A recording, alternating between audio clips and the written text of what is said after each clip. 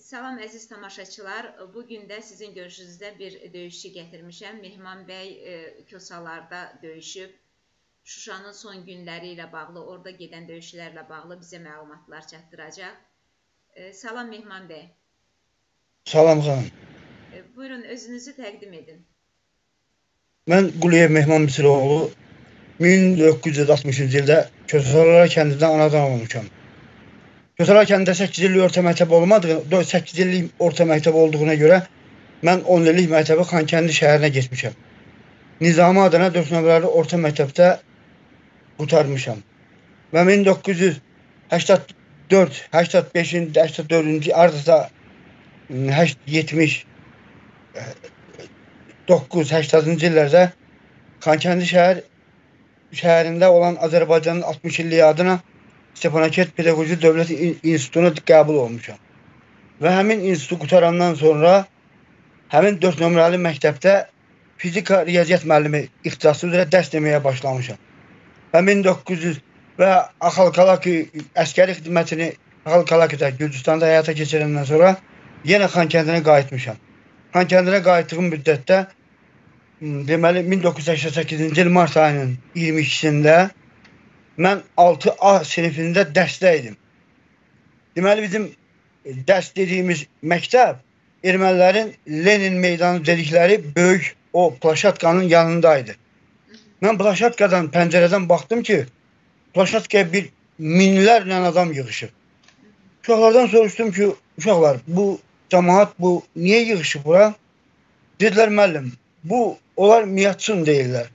Yəni Qarabağı Ermənistana birləşdirirlər.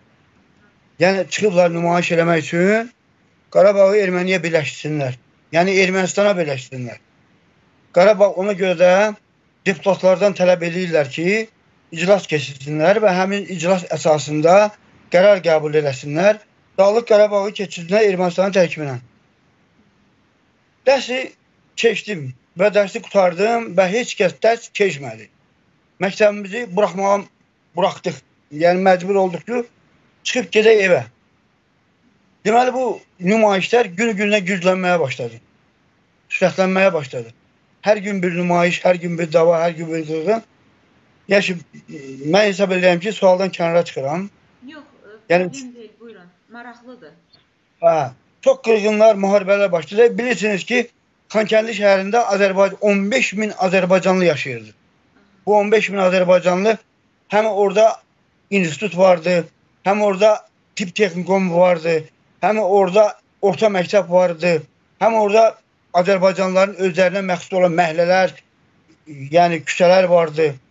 Deməli bu hadisələr başlananda, yəni ermənilər bütün bu Xankəndi şəhərində olan bütün cəmaatın qovulmasında, evlərinin yandırılmasının, davalarının başlanmasının 1989-cu ilin payızına saldılar. Deməli biz institutu da tərk elədik. Yəni onlar mənim gözümün qabağındadır. Arvadlar, kişilər, nə qədər millət yığılıb tüpürürdülər institutun tələbə, şagirdləri, tələbələrin üzünə. Onları daşa basırdılar, qayaya basırdılar. O biçim Azərbaycan dövləti avtobuslara ayırmışdı ki, həmin tələbələri Xankəndi şəhərdən çıxartsın. Biz zülmlə bu cəmaatı aralaya-aralaya bu tələbələri avtobusa yığdıq. Və həmin 6-7 dənə avtobus bizim tələbələrimizi Ağdam şəhərinə apardı. Ondan sonra belə hesab edirəm ki, 4 nömrəli məktəb tamamilə bağlandı və Nizami 4 nömrəli orta məktəbin şagirdləri hamısı qaçmağa, yəni məktəbi bağladıq. Məktəbi bağlayandan sonra bu şəhərdə ermənilərlə yaşamaq mümkün olmadı. Mən 1989-cu ildə öz kəndimizə, Kötəlar kəndinə getdim. O kənddə bir dəqiqə üzr istəyirəm bəlkə məlumatınız olar. Xankəndinin nə qədər əhalisi olub həmin an? 15 min əhalisi olub. Mən çıxışımın qabağında dedim. Yox, Azərbaycanlı On... dediniz 15 mində. Ümumi əhalisi nə qədər olub? Ümumi hardasa bir 40 min, 35 min, 40 min olar da. Onun hardasa yarısına yaxın e, bizim Azərbaycan əhalisi idi. Aha. Yəni Demək, əvvəl e, tələbələri qovdular. Kim ki ora oxumağa gəlmişdi. Sonra yavaş-yavaş əhalini institutu qovdular. Sonra da əhalini yavaş-yavaş qovmağa başladılar. Dövlət sizə Biz... heç bir yardım eləmədi. Dövlətin heç yardımı belə idi ki, o küçələrə gətirib polisləri zadlar düzürdülər yalandan. Polisləri düzürdülər güya ki, o polislər e, cemaatla, erməni ilə Azərbaycanlıların nifaqın qarşısını alacaq. Amma heç bir nifaq al qarşı alınmır. Ermənilər getdikcə quduzlaşır və o Xankəndidə olan Azərbaycanlıların evlərini yandırmağa başlayır. Kəndi yandır o e, şəhərin kənarında olan bütün obyektlərə od vurur. Onların məxsus olduğu bütün əmlakı yandırırlar. Mənim bir yaxşı yadımdadır. Mənim bacım Zorgi küçəsində yaşayırdı. Zorgi küçəsi mən də o küçədə propiska idim. Oradan instituta gedib, dərsə gedib, işləyib gəlirdim. Mən dağlarda olanda bacım bizə xəbər göndərdi ki,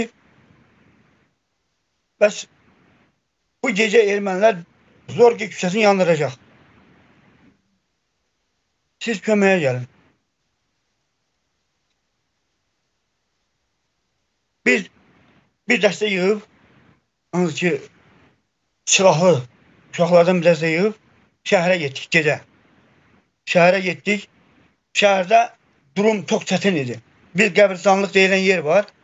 Yəni o qəbirstanlıqda gizləndik o qəbrin arasında. Sonra o kətdən Zorgi küçəsindən Mamet adında bir oğlanı yanımıza çağırdıq. Mamet dedi ki, bu gecə bu küçəni yandıracaqlar. 15 dənə Azərbaycanlı evi yanacaq. Dedim, getər, gedirsən. Daşnaqsütün partiyasının liderlərindən biri o küçədə yaşayır. Arvadının adı Gülçöhrə idi. Azərbaycan dilində danışan Şamaxılı ermənisi idi. Bir də Arqadiya adında başqa biri vardı. Gedirsən, onlara deyirsən ki, mehman öz dəstəsi ilə gəlir.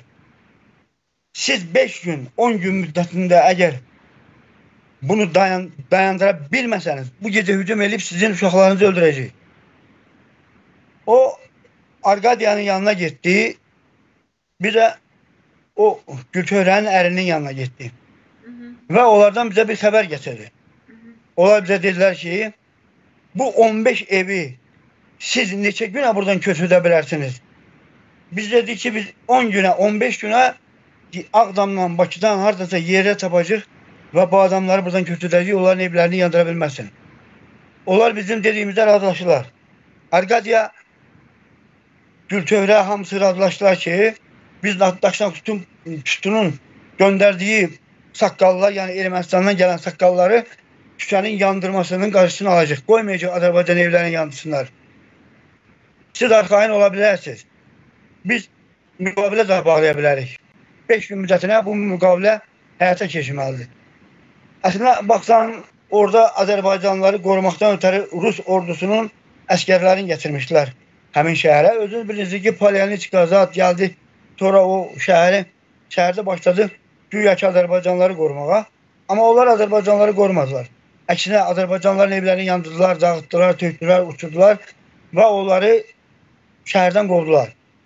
Yəni özləri Biz elədi, yoxsa sadəcə olaraq ermənilərə mane olmadılar bunu eləmək üçün? Bu ermənilərə mane olmadılar. Hı -hı. Yəni burada mane olacaq heç bir şey yox idi. Həmin axşam ki biz girmişdik, həmin şəhərə ki girmişdik, həmin evləri qoruyaq. Onda erməni qüvvələri uşağın gedib gəlməyimlə Rus tankları, piyadaların döyüş maşını onları mən əskərcə onları tanıyırdım. Yəni hər hansı özümə bir ordu, bir komandir, bir ordu düzəltmə fikrim var ki, bunlarla döyüşəm.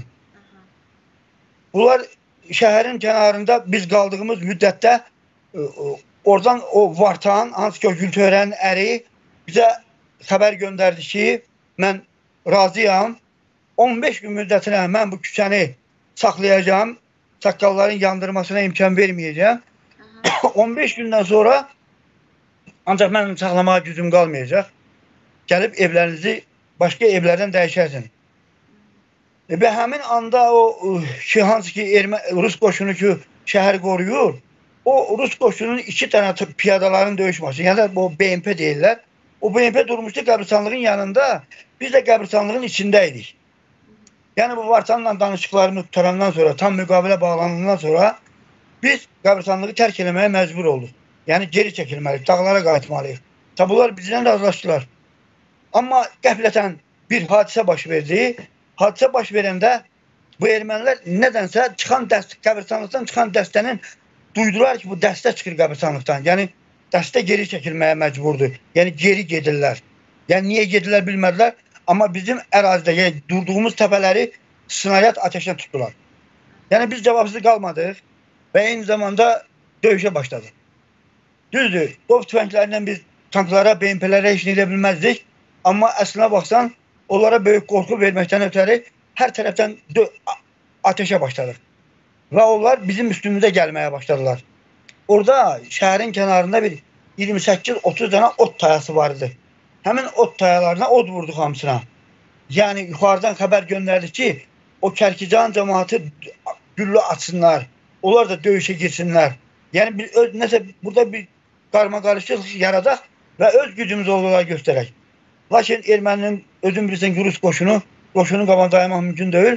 Onlar bizim pozisiyaları, yəni durduğumuz mövqeləri tam müəyyən elədilər və ateşə tutdular və biz meşəyə çəkildik. Meşəyə çəkiləndən sonra həmin meşədən evə gəldik. Evə gələndən sonra 5 gün müddətində həmin o bacımgilin evində, həmin evlərin hamısında Ağdama, Bakıya, bütün rayonlara dəyişdik. Yəni maşına mindik özümüz. Onlar getdilər, orada özləri ev tapdılar və həmin evin erməni ilə gəldilər, bu evi bəyəndilər və razılaşdılar və evləri bir-bir bir-bir dəyişməyə başladılar. Yəni Vartan sözünə düz çıxdı. Yəni burada Vartan sözünə düz çıxdığına görə, yəni indi üzr istəyirəm, erməni də olsa, amma o kişilik elədi orada. Yəni öz sözünə düz çıxdı.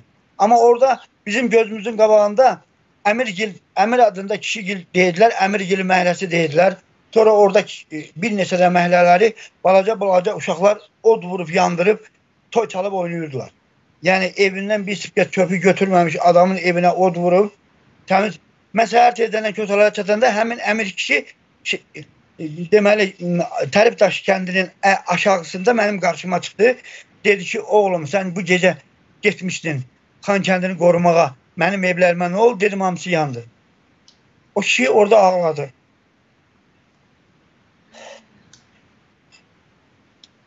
Biz artıq Xan kəndini itiririk. Yəni biz itirdik deyəndə Azərbaycan dövləti Xankəndi şəhərini itirdi. Bir dəqiqə Və mən, Xankənd- mən bir dənə qeyd eləyim. İndicə baxdım internetdə. Bu dəqiqə Xan kəndində 55 min əhali var. Yəni qeydiyyata görə, e, Google-da olan məlumata görə. Hə. Hər halda o vaxtı yəqin ki 35 e, 30 35 belə olub da deyirsiniz ki, yarısı Azərbaycanlı olub. Bu məlumat 15 mənim üçün çox maraqlıdır əslində. Mən bir ara axtarmışam ki, çünki e, Azərbaycan e, hakimiyyəti, indiki hakimiyyət belə bir e, variantı nəzərdən keçirdir ki, güya orada ref referenduma razılıq versin və mən məni bu sual çox maraqlandırır. Əgər orada refer referendum keçirilərsə və e, məhz 90-cı illərin əhali sayı e, üstün tutularsa, o götürülərsə əsasən Qarabağda Azərbaycanlıların mı sayı çox olacaq, ermənilərin mi sayı çox olacaq? Bax o mənə Yox, çox yəni- maraqlıdır. Üzr istəyirəm. Siz məndən şəhər haqqında soruşdunuz. Amma Aha, əslinə aydın. baxsan Qarabağın bir dənə e, e, Şuşa kimi bir rayonu, onun nə qədər kəndləri. Eyni zamanda Dağlıq Qarabağın şəhəri 15 min, indi hərdəsə 20 min, 25 min əhalisi. Sonra Əskərən rayonunun onun kəndləri, Kötalar kəndi, Beşpara kənd, Meşəli, Cəmilli, Qaragab. Ondan sonra daş o kəndlərin hamısı hesaba getsə, yəni Əskərən rayon, Mardaket rayonunun kəndləri, Mardaket rayonunun Umudlu kəndi vardı, Mardaket rayonunun Çapar kəndi vardı, Mardaket rayonunun Kərəmli kəndi vardı. Mardakı Sonra dərədir də indi. Mardaket, bəli, Dağlıq Qarabağın bir rayonudur, amma orada Azərbaycan kəndləri vardı. Deməli, Ağdaban, Çapar, Kərəmli, Umudlu. Ondan sonra gəlib gedirik Hadruta, Martuniyə. Martunidə Azərbaycanın kəndləri vardı, böyük kəndləri. Eyni zamanda o kəndlərin hamısında Azərbaycanlı yaşayırdı. Və bu günlərdə onlar qaçqındılar və o qaçqınları hamısını bir yerə toplasaq və sahaya gətirsək, hər hansı bir pasport sayına gətirsək, mən belə hesab edirəm ki, Dağlıq Qarabağda erməni qalmıyor. Dağlıq Qarabağda elə bir erməni yoxdur.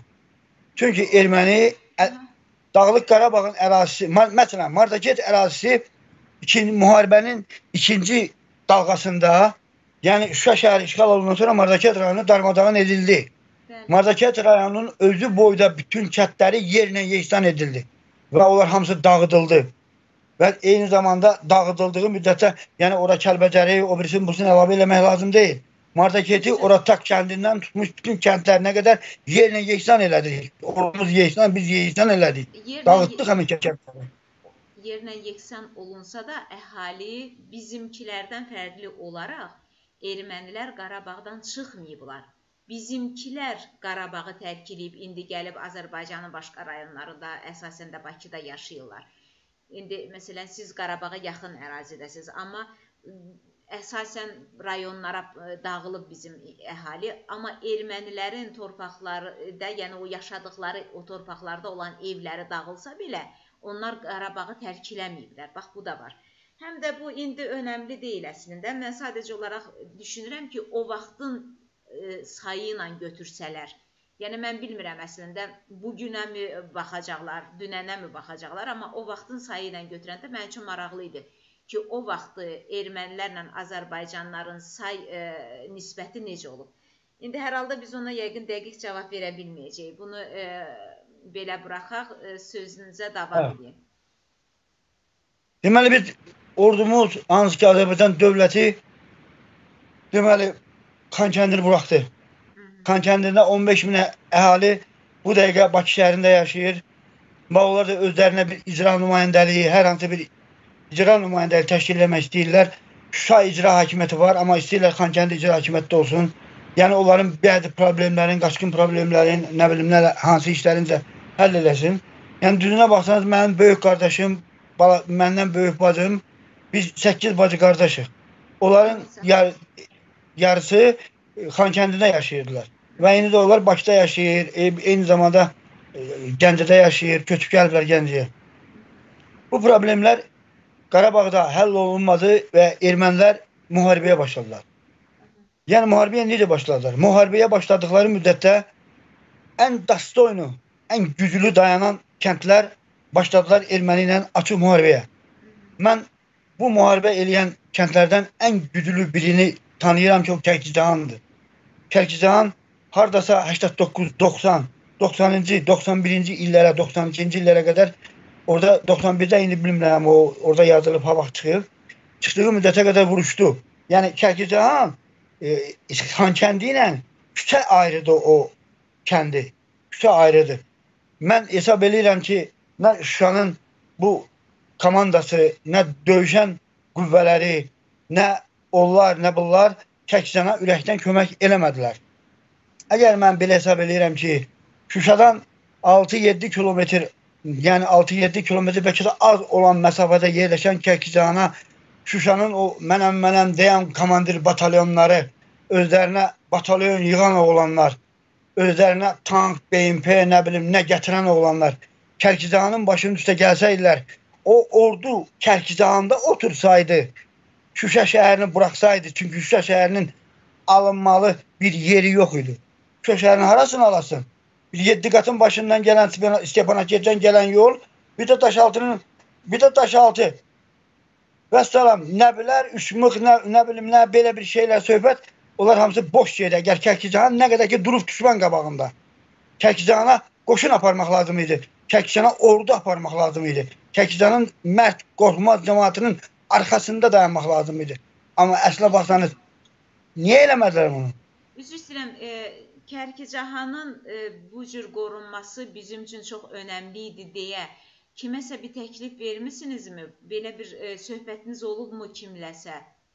Yəni yüksək Nə? vəzifəli Kər- və ya Biz bir, bir neçə dəfə özümüz Kərkicahana gecə ilə müharibəyə hücum, hücum vaxtı Kərkicahana köməyə getmişik. Aha. Yəni bizim məs məsafəmiz dağlar arasından aşıb Kərkicana getmək çox uzun uzun bir yoldur. O o yollar boyu əskər aparmaq, yol yox, qoşun yığmaq, bunlar hamısı çətin olur. Özdə biz özünüz bilirsiniz ki 40 kilometrə qədər erməni ilə həmsərhəddə durmuşuq.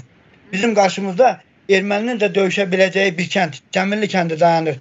Meşəli kənd, Meşəli kəndləri dayanır. Siz o xəritədə baxsanız görərsiniz ki, erməninin yanında bizim qarşımızda Cəmilli kəndi dayanır. Sol tərəfimizdə Badara, Ballıca kəndlərinin sərhədində Meşəli kəndi dayanır. Amma Şuşanın bir dənə kənd Kərkicanın arasına 2-3 kilometr Kərkicana oradan ora gəlmək hardasa 10 də 20 dəqiqə, 25 dəqiqəlik vaxtdır. Yəni düşürsən Qayvalı kəndinə, Qayvalı kəndindən də gitsən Kərkisənə düz, düz, düz, düz yoldur. Məsələn, Mikail Gözəlov qalsaydı, biz Mikail Gözəlova təklif verərdik ki, Qayvalı ilə Kərkisənin arasındakı yolu asfalt eləsin. Bu icra hakimiyyəti üçün, bu polis rəisi üçün nə problemdir ki bu? Bu çətin problem yoxdur orada. 2 kilometr, 3 kilometr yolu düzəltmək və Kərkisənin üzərində mərd mərdana kəndin cəmaatına dəstək olmaq bu elə belə çətin bir şey deyildi. Amma e, yəni sualım bundan ibarət idi ki, yüksək vəzifəli və ya da hərbi e, mükəlləfiyyəti olan bir e, hər hansı bir adam bu haqqda düşünməyib. Belə bir müzakirə olmayıb ki, Kərkicahanı qorumaq daha məqsədə uyğundur. 5 dənə batalyon. Əvvəlcə e, Elçin Məmmədov komandir batalyon komandir təyin olunmuşdu. 777 spesnazın komandiri Alkaş o kadar içirdi ki səhərdən axşamatan, axşamdan səhərdən içirdi. Elçin Məmmədov fikirləşməlidir ki, mən Kərkizana neçə dənə BMP yerləşdirim, neçə tank yerləşdirim, 7 qata neçəsini yerləşdirim və qabaqda pozisiyaları necə qurum, necə qazım, hansı akopları qazım, hansı səngələri qazım ki, biz erməniyə lazım olan dastonu cavab verə bilək. Bəli, haqlısınız. E, hərbçinin birbaşa vəzifəsi idi bütün bunları düş düşünmək aydındır. E, tamam, e, keçək e, sonra e, demək mən bilirəm ki, Kosalarda dəfələrlə döyüşlər olub. Yəni ki, biz əsasən danışacağıq 7-8 maydan, amma biz ora gəlməmişdən qabaq e, Kosalarda olan döyüşlər haqqında siz danışa bilərsiniz, e, əgər mümkündürsə. E, siz orada müdafiəni necə təşkilləmişdiniz? Bir də mən xüsusi olaraq Xocalı haqqında danışmaq istəyirəm. Buyurun hansını gözləyim. məsləhət bilirsiniz? Birinci oradan başlayaq. Deməli bizim bizim ərazi Xankəndi şəhərindən 12 kilometr məsafədə dayanırdı. Yəni 8 kilometr məsafədə kəndin biri idi. Qalan kəndlər 12 13 12 kilometr aralıdaydı. Yəni bizim kəndimiz 5 para kənddir. Baş kənd, Yalova, Cavatlar, Tərifdaşı, bir də Canhəsən. Deməli Bizim qərargahımız bizim öz ana kəndimlə, mənim öz doğma kəndim Orta Kətdə Cavatlar kəndində idi. Mənim qərargahım. Deməli biz birbaşa meşəliyə, birbaşa cəmilliyə, yəni o kəndləri qorumaqdan ötəri qüvvələr çıxardır, döyüşə girirdik.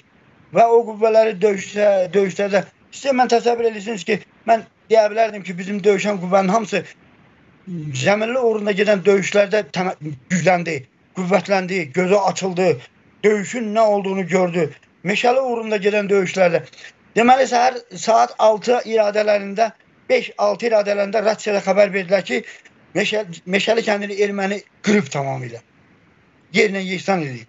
Əslinə baxsan biz ora öz qüvvəmizi yox, Bakı şəhərindən, başqa rayonlardan Vahid Bayramovun köməyi ilə, Bakı Şuşa rayon polis şöbəsinin rəisinin köməyi ilə aldığımız qüvvələri bir-bir 10 nəfər, 20 nəfər, 30 nəfər o kətlərdə yerləşdirirdik.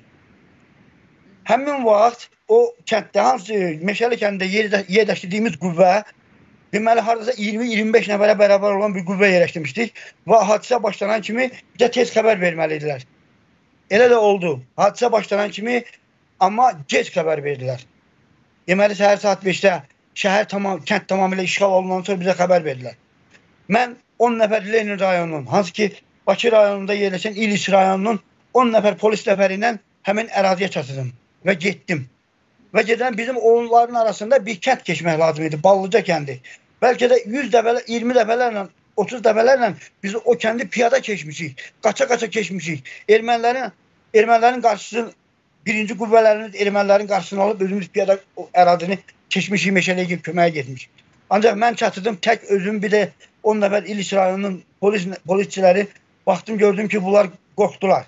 Yəni döyüş meydanına girmirlər kəndin içində yananlar, evlərdə yananlar, patvallarda yananlar, insanlar var. Bunları qurtarmaq lazımdır. Döyüşə girdim. Tək girdim. Tək girib bir bir qədər kəndin kənarında bir çay axır. Çaya yaxınlaşanda baxdım, könlüm dala baxdım ki, iki polis nəvərim Elman Məmmədov, bir də Məzahir Əliyev piyada piyada o kətdən 25 20-25 kilometr piyada qaçıblar arxamda ki, mən döyüşə tək girməyim. Ondan sonra baxdım ki, Xocalı polis şöbəsi e, öz polis dəstəsini vertolyotla tökübdür. Amma heç bir xeyirsiz onlar meşədə meşədədirlər. Orada durub meşədə meşənin halına baxırlar. Sonra Rövşən Camadov amon gətirmişdi. Yəni səhər saat 6-7 radələrində amonu töymüşdülər. Amma heç kim 1 metr irəli yerib erməniyə kətdə cavab verə bilmirdi. Mən dağdan baxdım ki, Kənd Sovet sədri rəfinin Nivasın ermənilər quyu qazmışdılar ki, yolu kəsmişdilər ki, əlaqə kəsilsin Badara kəndi ilə. Hop götürüb 10-15 dənə erməni istəyirlər Nivanı öz tərəflərində keçirdələr. O qədər sərbəstdirlər ki, heç hardan güllə atılmır, iki batalyon dayanıb. O özümü çatırdım. Çatırdım meşəliyə çatırdım. Çatırdım orada Xocalı polisindən yadımdadır. iki nəfər döyüşçü də mənə qoşuldu. Öz iki nəfərim qoşuldu. Bir də kənd sakinlərindən Məhbət Əliyev adlı biri qoşuldu. Sonra kənddən iki kişi bələdçi qoşuldu və biz kəndə hücum elədik. Kəndə hücum elədim, çaya girdim və birinci məktəb yanırdı. Girdim məktəbə. Məktəbə girdim, qapını açdım ki, məktəb yanır. Məktəbin yarısı yanmışdı. Oradan çığırdım ki, burada adam var. Bir dəfə də çığırdım. Gördüm ki, polun altından bir qız uşağı gedə var. Linolyumu çəkdim ki, altında iki balaca uşaq, bir dənə də qız uşağı. Onları götürdüm, uşaqlara verməyib qaçırdım çaya. Sonra ikinci, üçüncü evlərə girdik, baxdıq, gördük ki, oradan pəncərədən dedim ki, içəridə adam var. Gördüm ki, bir dəfə sualıma cavab vermədilər. İçəridə adam olduğumu gördüm. Qranatı çəkdim ki, tullayam, elə bilim ermənilərdir. Gördüm, dedi, qardaş, atma biz könüllü döyüşçülərik, vurma bizi, biz yaralıyıq. Onların 5 nəfər kravatın altından yaralılar hamısını çıxartdıq. 24 nəfər yerdə meyit vardı. Yəni mülki vətəndaş meyiti vardı. Bu mülki vətəndaş meyitlərin hamısını bir-bir götürdük. Bir-bir öz Fərraş kəndində ilə Laçının kəndinə aparıb bastırmaqdan ötəri maşınlara yığmağa başladıq. Yəni erməniləri qovduq. Şəhəri tərk, kəndi tərk elədilər. Onlar qarət eləyirdilər.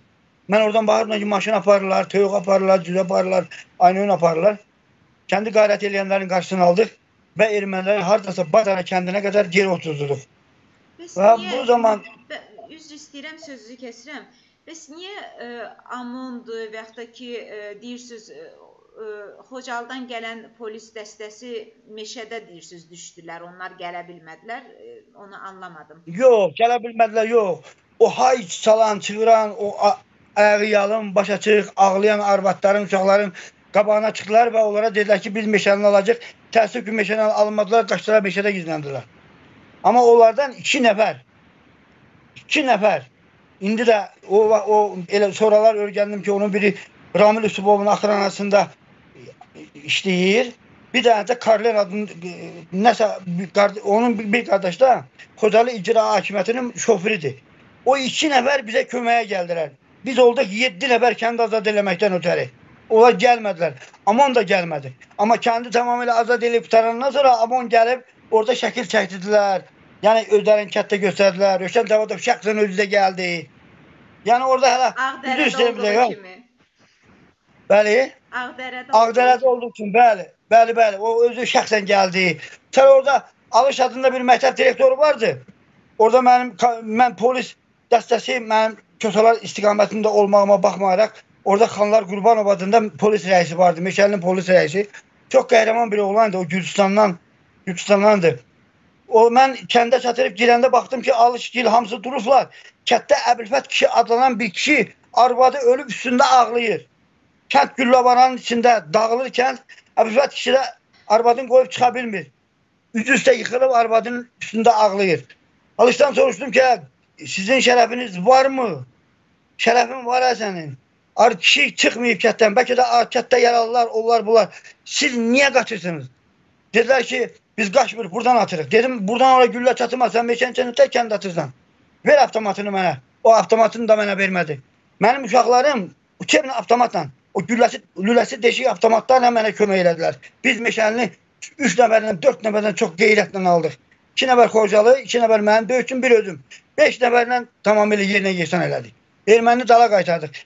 Yenə mən deyirəm, erməninin elə bir gücü yoxdur ki, Azərbaycan qoşununun, Azərbaycan oğlunun, Azərbaycan amonunun qabağında dayansın. Başa düşdünüz mən nə deyirəm? Biz 5 nəfərlə kəndə azad elədik. Meyitləri də Fərraşa göndərdik. Bax bu buydu bizim dərdimiz. Qarabağ dərdində buydu bizim müharibə dərdimiz. Tabii dərdimiz yox idi. Aydın. Biz meşəli meşəli itirməmiş, itirdik. Ancaq meşəli cəmaatı hamısı çıxdı getdi Laçına. E, e, Eldar müəllim vardı, Eldar Sultanov. Bu Əli Bayramında prokuror işləyirdi. Çox namuslu, qeyrətli bir adamdı. Həmişə bizə patron gətirdi, həmişə bizə silah gətirdi. Gördüyümüz işlərlə fəxr edirdi. Bir o yeriyə bilmirdi. Biraz belə nətər deyim, ağır adam idi. Muha dedi, səndən bir şey xahiş eləsəm olar? Dedim, elə. Dedi, sən bu dəqiqə gedib ala bilərsən meşəlini mənim üçün, mən gedim meşəliyə. Orada qalan texnikamıza, aynolumuzu görüm, gəlim. Dedim, mənim gözümüzdə. Dedi, neçə nəfərlə gedəcəm? Dedim, 8 nəfərlə mən sabah səhər 9-a səyahət edəcəm, yenərsən kəndə. Biz kəndə hücum elədik. Kəndi aldıq. Üç dənə erməni öldürdük. Erməni hamısı qaçdı. Kəndi aldıq Akrujeniyə. İstədik Badarıya hücum eləyək. Eldar müəllim dedi, lazım deyil. Hücum eləməyin, mən kəndə gəldim. Eldar müəllim yavaşca Uaz maşınla yendi gəldi kəndə. Orada kənd, kəndin yaxınlığında bulaqdan su içdi və ağladı. Ondan sonra dedi ki, gedək oğlum. Burada qalan taxılı da 3 ton taxılı qalmışdı o vaxtları. Cəmaatın taxılları qalmışdı. Ermənilər elə bil 3 gündə çıxmışdılar. Eldar Sultanov dedi ki, gedək görə orada taxıllar vardı, hamısını çıxardaq gətirək.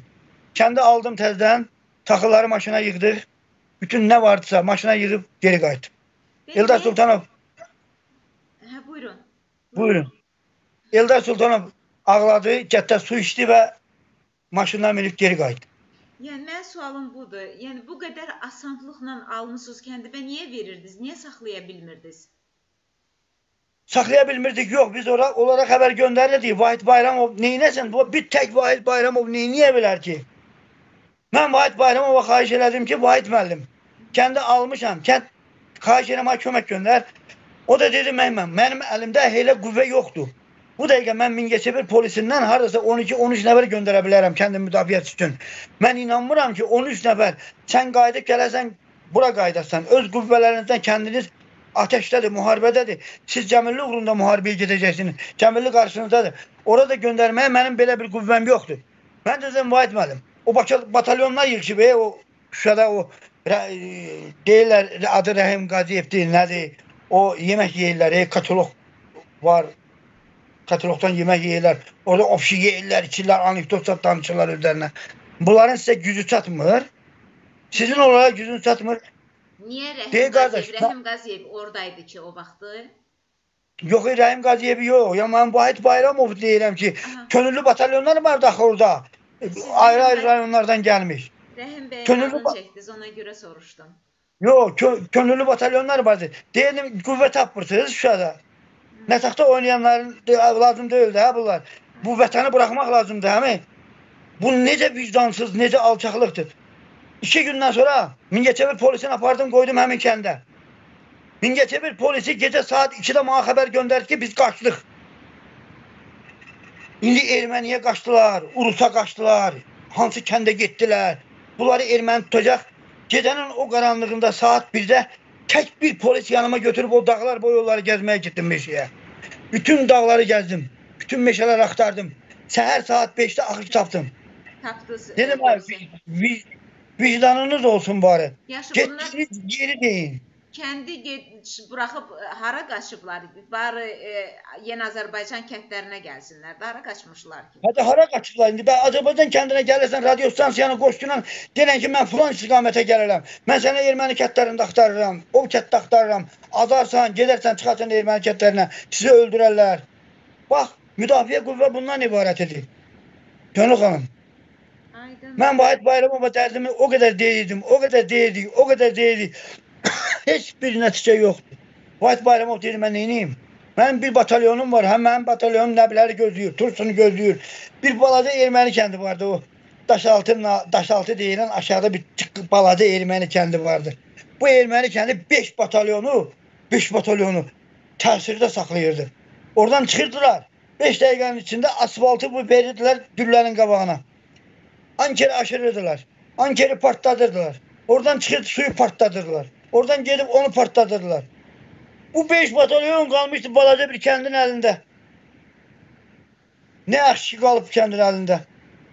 Yəni bunlar daş altına hücum elədilər, nə bilim nə elədilər. Mən onlara dedim ki, ki Daşaltına hücum eləyirsinizsə çıxardın batalyonlarınızı, durun qırağa mən hücum eləyirəm 6-7 nəfərlə. O kəndi darbadan eləyim.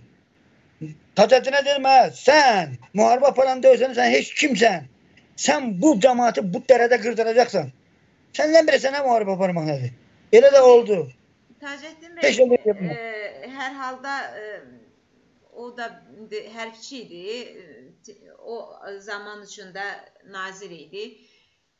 E, Siz bilmirəm ona niyə elə danışmısınız, amma hər halda onlar da bir şeyi e, eləməyə çalışırdılar. Sadəcə olaraq mən başa düşə bilmirəm. Əgər siz daşaltını almağı bu qədər asan hesab eləyirdinizsə, bəs onlar niyə ala bilmədi o qədər qüvvə ilə? Bir dəqiqə üzr istəyirəm, xahiş edirəm xanım. Yəni mən bir sizə bir şey deyim. Şuşa işğal olunandan sonra məni iki polis yoldaşımla, yəni ofitserlər, biz Ağdama Ağdam batalyonuna göndərdilər bizi. Bu Ağdam batalyonunda deməli Faiq Bəxşəliyev adında bir komandir vardı. Biz ora çatanda o orada bir polis rəisi vardı. Qapıda gəlib oturmuşduq biz. Polis idarəsinin qapısında. Bu rəis bizə yaxınlaşanda dedi ki, mən rəisəm, niyə durmursunuz ayağa? Dedim, sən haranın rəisisən? Dedi, Ağdamın. Dedim, hə, mən Qarabağdan, müharibədən gəlmişəm. Şuşadan gəlmişəm, Kötələrdən gəlmişəm. Sənin kimi polis rəisinə mən durmaram ayağa. Get işinlə məşğul ol. Bu qayıtdı ki, sabahları sabahlar indi. Xanabad uğrunda döyüş var. Görək sən nətər döyüşəsən. Dedim, baxarıq. Üzr istəyirəm xanım. Onlar Bunlar xanabadan- hələ. Hə? Yox, mən bir daşaltının əməliyyatından danışacağam. Hə, buyurun, Bu- buyurun. Bunlar hücuma nətər keçirlər? Faiq Bəxşəliyə bir 10-15 dənə BMP-si vardı, tankı vardı, nə bilim maşınları, planları, fıstanları, maşınları üstə pulemyotları, zadları.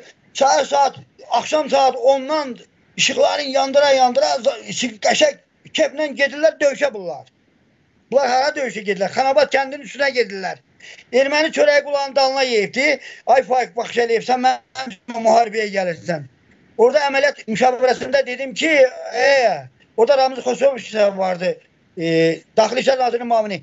Dedim Ramiz Xosroviç, belə müharibəyə gedirsinizsə, sən steşkinini qoyub kətdə qaçarsan. Döyüşdüyün kətdə qaçarsan. Dedi ki, niyə? Dedim ona görə ki, siz elə bil ki, toya gedirsiniz. İndi sabah erməni görsün başınızda burada nə oynatacaq? Sən öz belindəki steşkinini qoyub qaçacaqsan. O 6 dənə batalyonu Hadrutu Martaketdən bütün batalyonları yığacaq. Burada sənin qabağına. Sənə bir dərs verəcək ki, ömrün boyu dərsi görməmiş olasan. O dedi ki, sən hələ belə şeyləri bilməzsən. Dedim, eləmi? Uşaqlara dedim ki, mökəm durun. Tək cinaha özüm gedirəm. İşiniz arxada gözləyin. Şirkada saxlayın. Qırılan bütün əskərin hamısının meyli qalacaq orada. Onları götürən olmayacaq. Siz məni götürün. Məni vursalar götürün. Dedilər yaxşı. Arxayın ol. Amma keçməyin irəli. Onların batalyonları qarışmayın. Onları bıçaq qıracaqlar.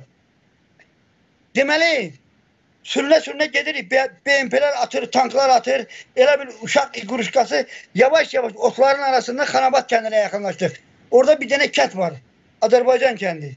Həmin Azərbaycan kəndinə yaxınlaşanda binokulda baxdım ki, ey dadi bidat. Plyamotlar eşidirsiniz? Ay, Plyamotlar istəyirəm. hamısı plyamotların hamısını düzüblər, ateş açmırlar. Oradakı komandir deyir gözləyin. Gözləyin. Gözləyin. Gözləyin və çatanda ateşə başladı. Qırılsa nə- 90 nəfər, 100 nəfər qırılsa nətərsən? Bir, bir udarda. Güllə bilsə mənim harıma dəydi. Şirkadan göydən baxdı ki, Patisvolniklə bu gözlüyür, bu döyüşçüdür. Yavaş-yavaş keçəndə buradan vurdular, buradan bax, buradan vurdular. Gəldi çıxdı boynumun dalından. Həmən döyüşdə. Başa düşdün mən nə deyirəm? Eşitdim, başa İmeni düşdüm. spes dö- İmeni spes döyüşçünü gözləyir. Sniperlər. Ortada hərəkətin görür ki, bu necə hərəkət eləyir? Hansı istiqamətdən hansı istiqamətə keçir?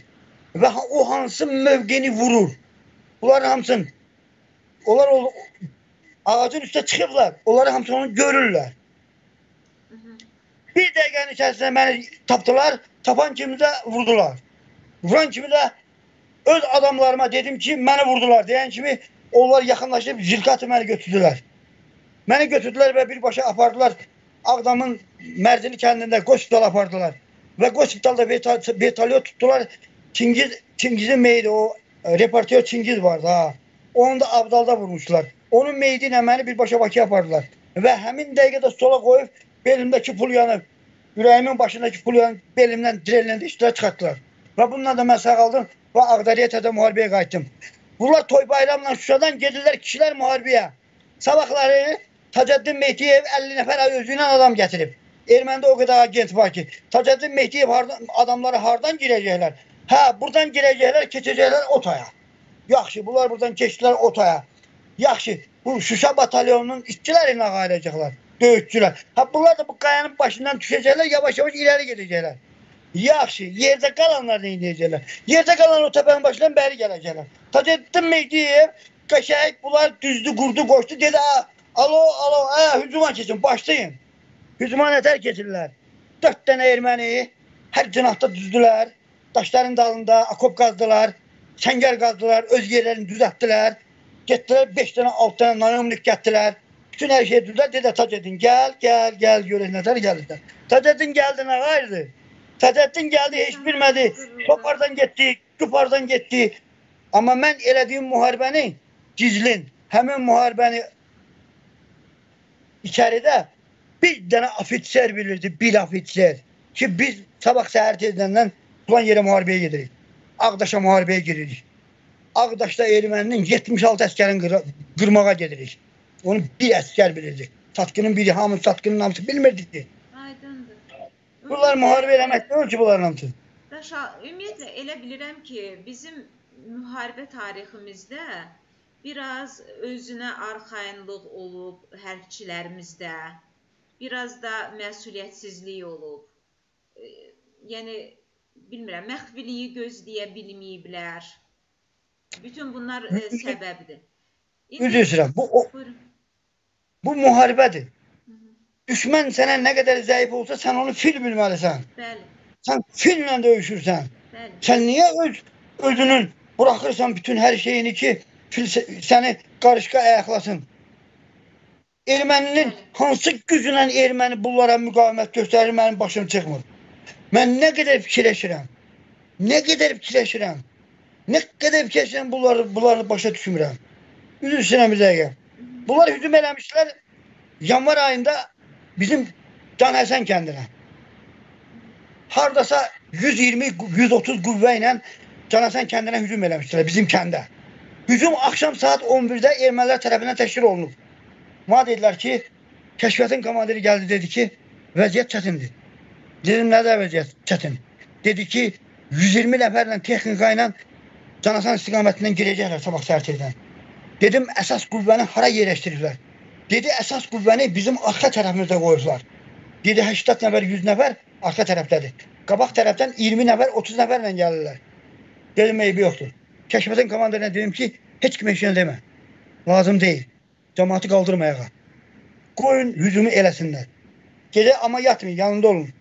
Səhər saat 5-də hücumun qarşısına çıxacaq. Səhər saat 5-də çıxdım hücumun qabağına. Getdim həmin Canasən kəndinə, birinci kəndə. Orada Nizami adında bir o kişi məni qarşıladı. Dedi ki, aldılar, ey, alacaqlar.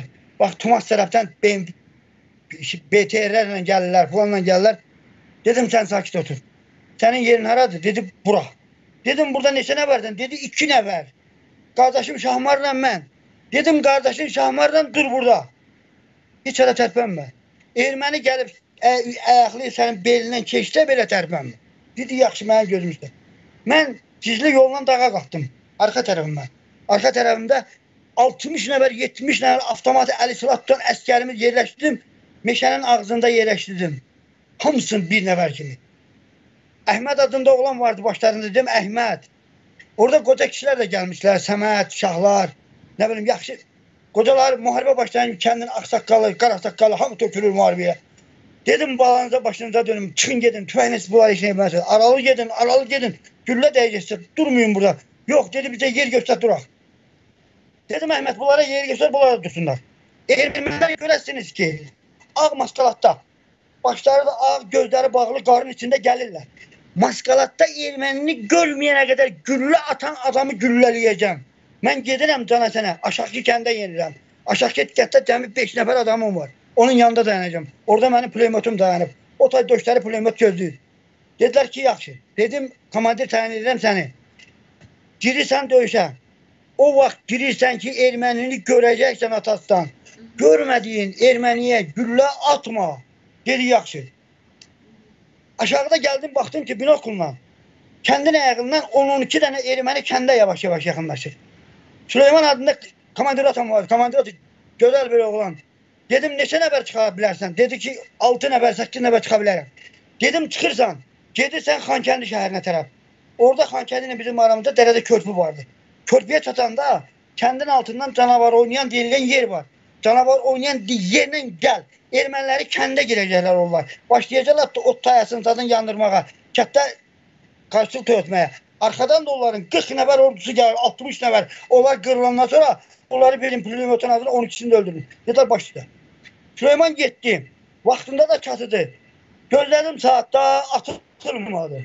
Gözlədim atılmadı, atılmadı, atılmadı, atılmadı. Nizami dayanıbdı BMP'nin BDM'in qabağında. Nizami də gözləyir ki, BDM buna yaxınlaşmır. Niyə yaxınlaşmır? Bu niyə atmır? Bu ermənilər niyə durdular? Onda gördüm ki, dağ başladı. Dağ başladı. Bunlar da başladı. Bunlar da başladı. Dağda yoxsa 60 nəfərdən 40-ı qırıldı. Tamamilə yoxa çıxdı. Onlar gördülər ki, qırıldılar. Oradan maskalatlı ermənilər, sağ ermənilər, ölü erməniləri dağ aşağı sürüyüb gətirməyə başladılar. Yəni o hansı ki o piyadaların döyüş maşını gələn hissəyə keçməyə başladılar. Və keçəndə pulemyot işə başladı. Pulemyot o sağın da hamısını yaraladı, qırdı. Arvadlar gəlmişdi, ağ paltarda, nə bilim, güya yaralılara dərman verəcəklər. Həmin o maşınların hamısını deşik-deşik elədilər, partlatdılar, dağdan darmadan edib göndərdilər. Həmin o 12 nəfər kəndə girən 12 nəfər 2 dənə ot tayası yandırdı. Cəmi 2 ot tayası. 6 nəfəri öldü, 2 nəfəri yaralandı, 4 nəfəri qaçdı, qaçdı, qaçdı dər aşağı keçdi. Müharibəni belə eləyirlər. Yoxsa hayır bunu, gedirəm müharibəyə mən. Müharibəyə getmək lazım deyil. Müharibə özü hazırdır. Zamanın da zəhmət olmasa deyin dəqiq olsun. Ha- Nə zaman olub bu döyüş? Dox- Yanvar ayının, yanvar ayının 21-də. 92 Deməli onlar hər 92 70-ə nəfər Bəli, Hə, bildim 70-ə 92-ci qədər-. Aha. meyit yaralı verib geri çəkildilər. Onlar e, onların bu, bu, bu sonra uşaqlara dedim ki, onların dalınca qaçın. Gedin onlar kəndə girənə qədər, şəhərə girənə qədər onları qovalayın. Deməli oradan tərpənən uşaq yel aşağı atata yürür bunların dalınca, bunlar qaçsınlar, kətlərin keçsinlər. Kətlərin qoyunu keçsinlər o tərəfə. Başa düşdün mən nə deyirəm? Bu olsun. döyüşüdür. ikinci döyüşü, üçüncü döyüşüdür kötələri. Kötələr birinci dəfə onlara elə bir qan... Onlar orada deyirlər ki, şeytan dağları. Üzr istəyirəm bir dəqiqə. Deməli, e, Görüç rayon polis şöbəsinin baş əməliyyat müvəkkili Uqalomlu Rozku cibində məktub yazmışdı. Mən keçən dəfə sizə mən demişəm. Hə. Həmin məktubda yazır ki, öz arvadına Lena, mən şeytan dağlarına müharibəyə gedirəm. Bizi bir saatdan sonra da o dağlara qaldıracaqlar. Oradan mən sağ gələcəm, ölü gələcəm, mən bilə bilmirəm. Əgər mən ölər olsam məni orada axtar. Yox, ölər olmasam mən gələsi olsam ayın 15-də görüşdə olacaq. İnşallah onların hamısının ölüsü qalacaq dağlarımızda. Mən bizə bir geniş bir məlumat verim. Buyurun. Deməli biz Xocaldan bizi bir, kənd ayırır. Biz dağların başında 12 kilometr elə bir Xankəndinə qədər məsafədir və Xocalıya qədər məsafə artıq 25-26 kilometr məsafədir aeroporta. Deməli biz buradan çıxsaq, dağ aşağı tərpənsək, biz kəndi yarıb keçməliyik, qırmalıyıq, keçməliyik, sonra Xocalıya girməliyik. Yəni aeroporta çatmalıyıq. Kənd bizim, bizim qabağımızda, aeroportla bizim aramızdadır. Deməli Xənəcək kəndi. Erməninin Xənəcək kəndi. Yox, o kəndin yanında bir Ballıca kəndi də var. Deməli biz hər dəfə, hər dəfə deməli buradan onlar Xocalıda bir hadisə baş verəndə hər dəfə buradan top atəşlə tuturduq onları. Yəni artilleriya zərbəsinə vururduq. Yəni onlara bir hadisə elə ki biz bu dağdan Xankəndinə atırdıq. Kösalardan. Deməli, Üzr istəyirəm. bəli, köçələrdən. Kösalar. Hə, köçələr 5 kilometr məsafəyə atırdıq hava məsafəsi ilə. Hı -hı. Saat 2 iradələrində Rəhim Qa- Xocalı bizə rasiyata zəng elədi. Aha. Bir qadın danışırdı. Kadın dedi ki kösalar kösalar Xocalını eşidirsənmi? Üzr istəyirəm. Dedik eşidirik. Siz- Üzr istəyirəm. Siz Rəhim Qaziyevin adını çəkdiniz. Cümlə elə alındı ki, zəng eləyən e, Rəhim Qaziyevdir. Demək sizə Xocalarda Xocalıdan Qaziyev Şuşada otururdu. Komendantıydı. o komendant idi. Xocaldakı kadın radistidir. Radis Ya, Xocalıdan. telefonda oturmuştu. Ha Xocalıdan bizə zəng elədi, kösaları yığdı. İmeni məni yox. Kösaları yığdı və dedi ki, qardaşlar, bizə kömək eləyin. Erməni bizə hücum eləyir. 366-cı alayın köməyi ilə. Dedim ki, 366-cı alay harda toplaşıb? Dedi ki, bəs 366-cı alay toplaşıb Xankəndi şəhərinin aşağısında Həsənabad bağlarında. Mən Şuşada e, Fəzailginin e, yəni qrupbasının içində Adil adında qradatan vardı. Tarsexinin müdürüydü. Ayın 24-də, 23-də, 24-də mən Adilə xahiş eləmişdim ki, bu ermənilər mənə 10 dənə ssenariya atıblar. Dedi, nə vaxt atıblar? Dedim 19-unda. Mən ayın 19-unda ermənilər bizə 10 dənə ssenariya vurmuşdular Xankəndindən. Mənim qərargaha, bizim qərargaha vurmuşdular. Mən Adilə zəng eləmişdim ki, Adil gəl bura, onlara bir atvet verək. Dedi, nə qədər vuracaqsan? Dedim, 80 snaryad. Dedi, yaxşı, Şuşadan doldurub gəlirəm. Bu adam ayın 23-də snaryadı doldurdu, gəldi kəndə. Mən onu gözəl bir pozisiyaya çıxartdım, yaxşı bir yerə çıxartdım. 80 snaryadın 80-ını da şəhərə vurdum. Xankəndi. Ayın 23-də. 23-də. Mhm. Elə bil Xocalının işğalından bir gün qabaq. Ayın iki gün qabaq. Vurdum Xankəndinə. Ermənilər mənə atvet vermədilər.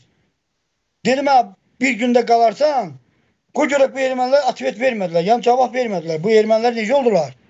Demə bunların planı Xocalını işğal eləməkmiş. Xocalını dağıtmaqmış bunların planı.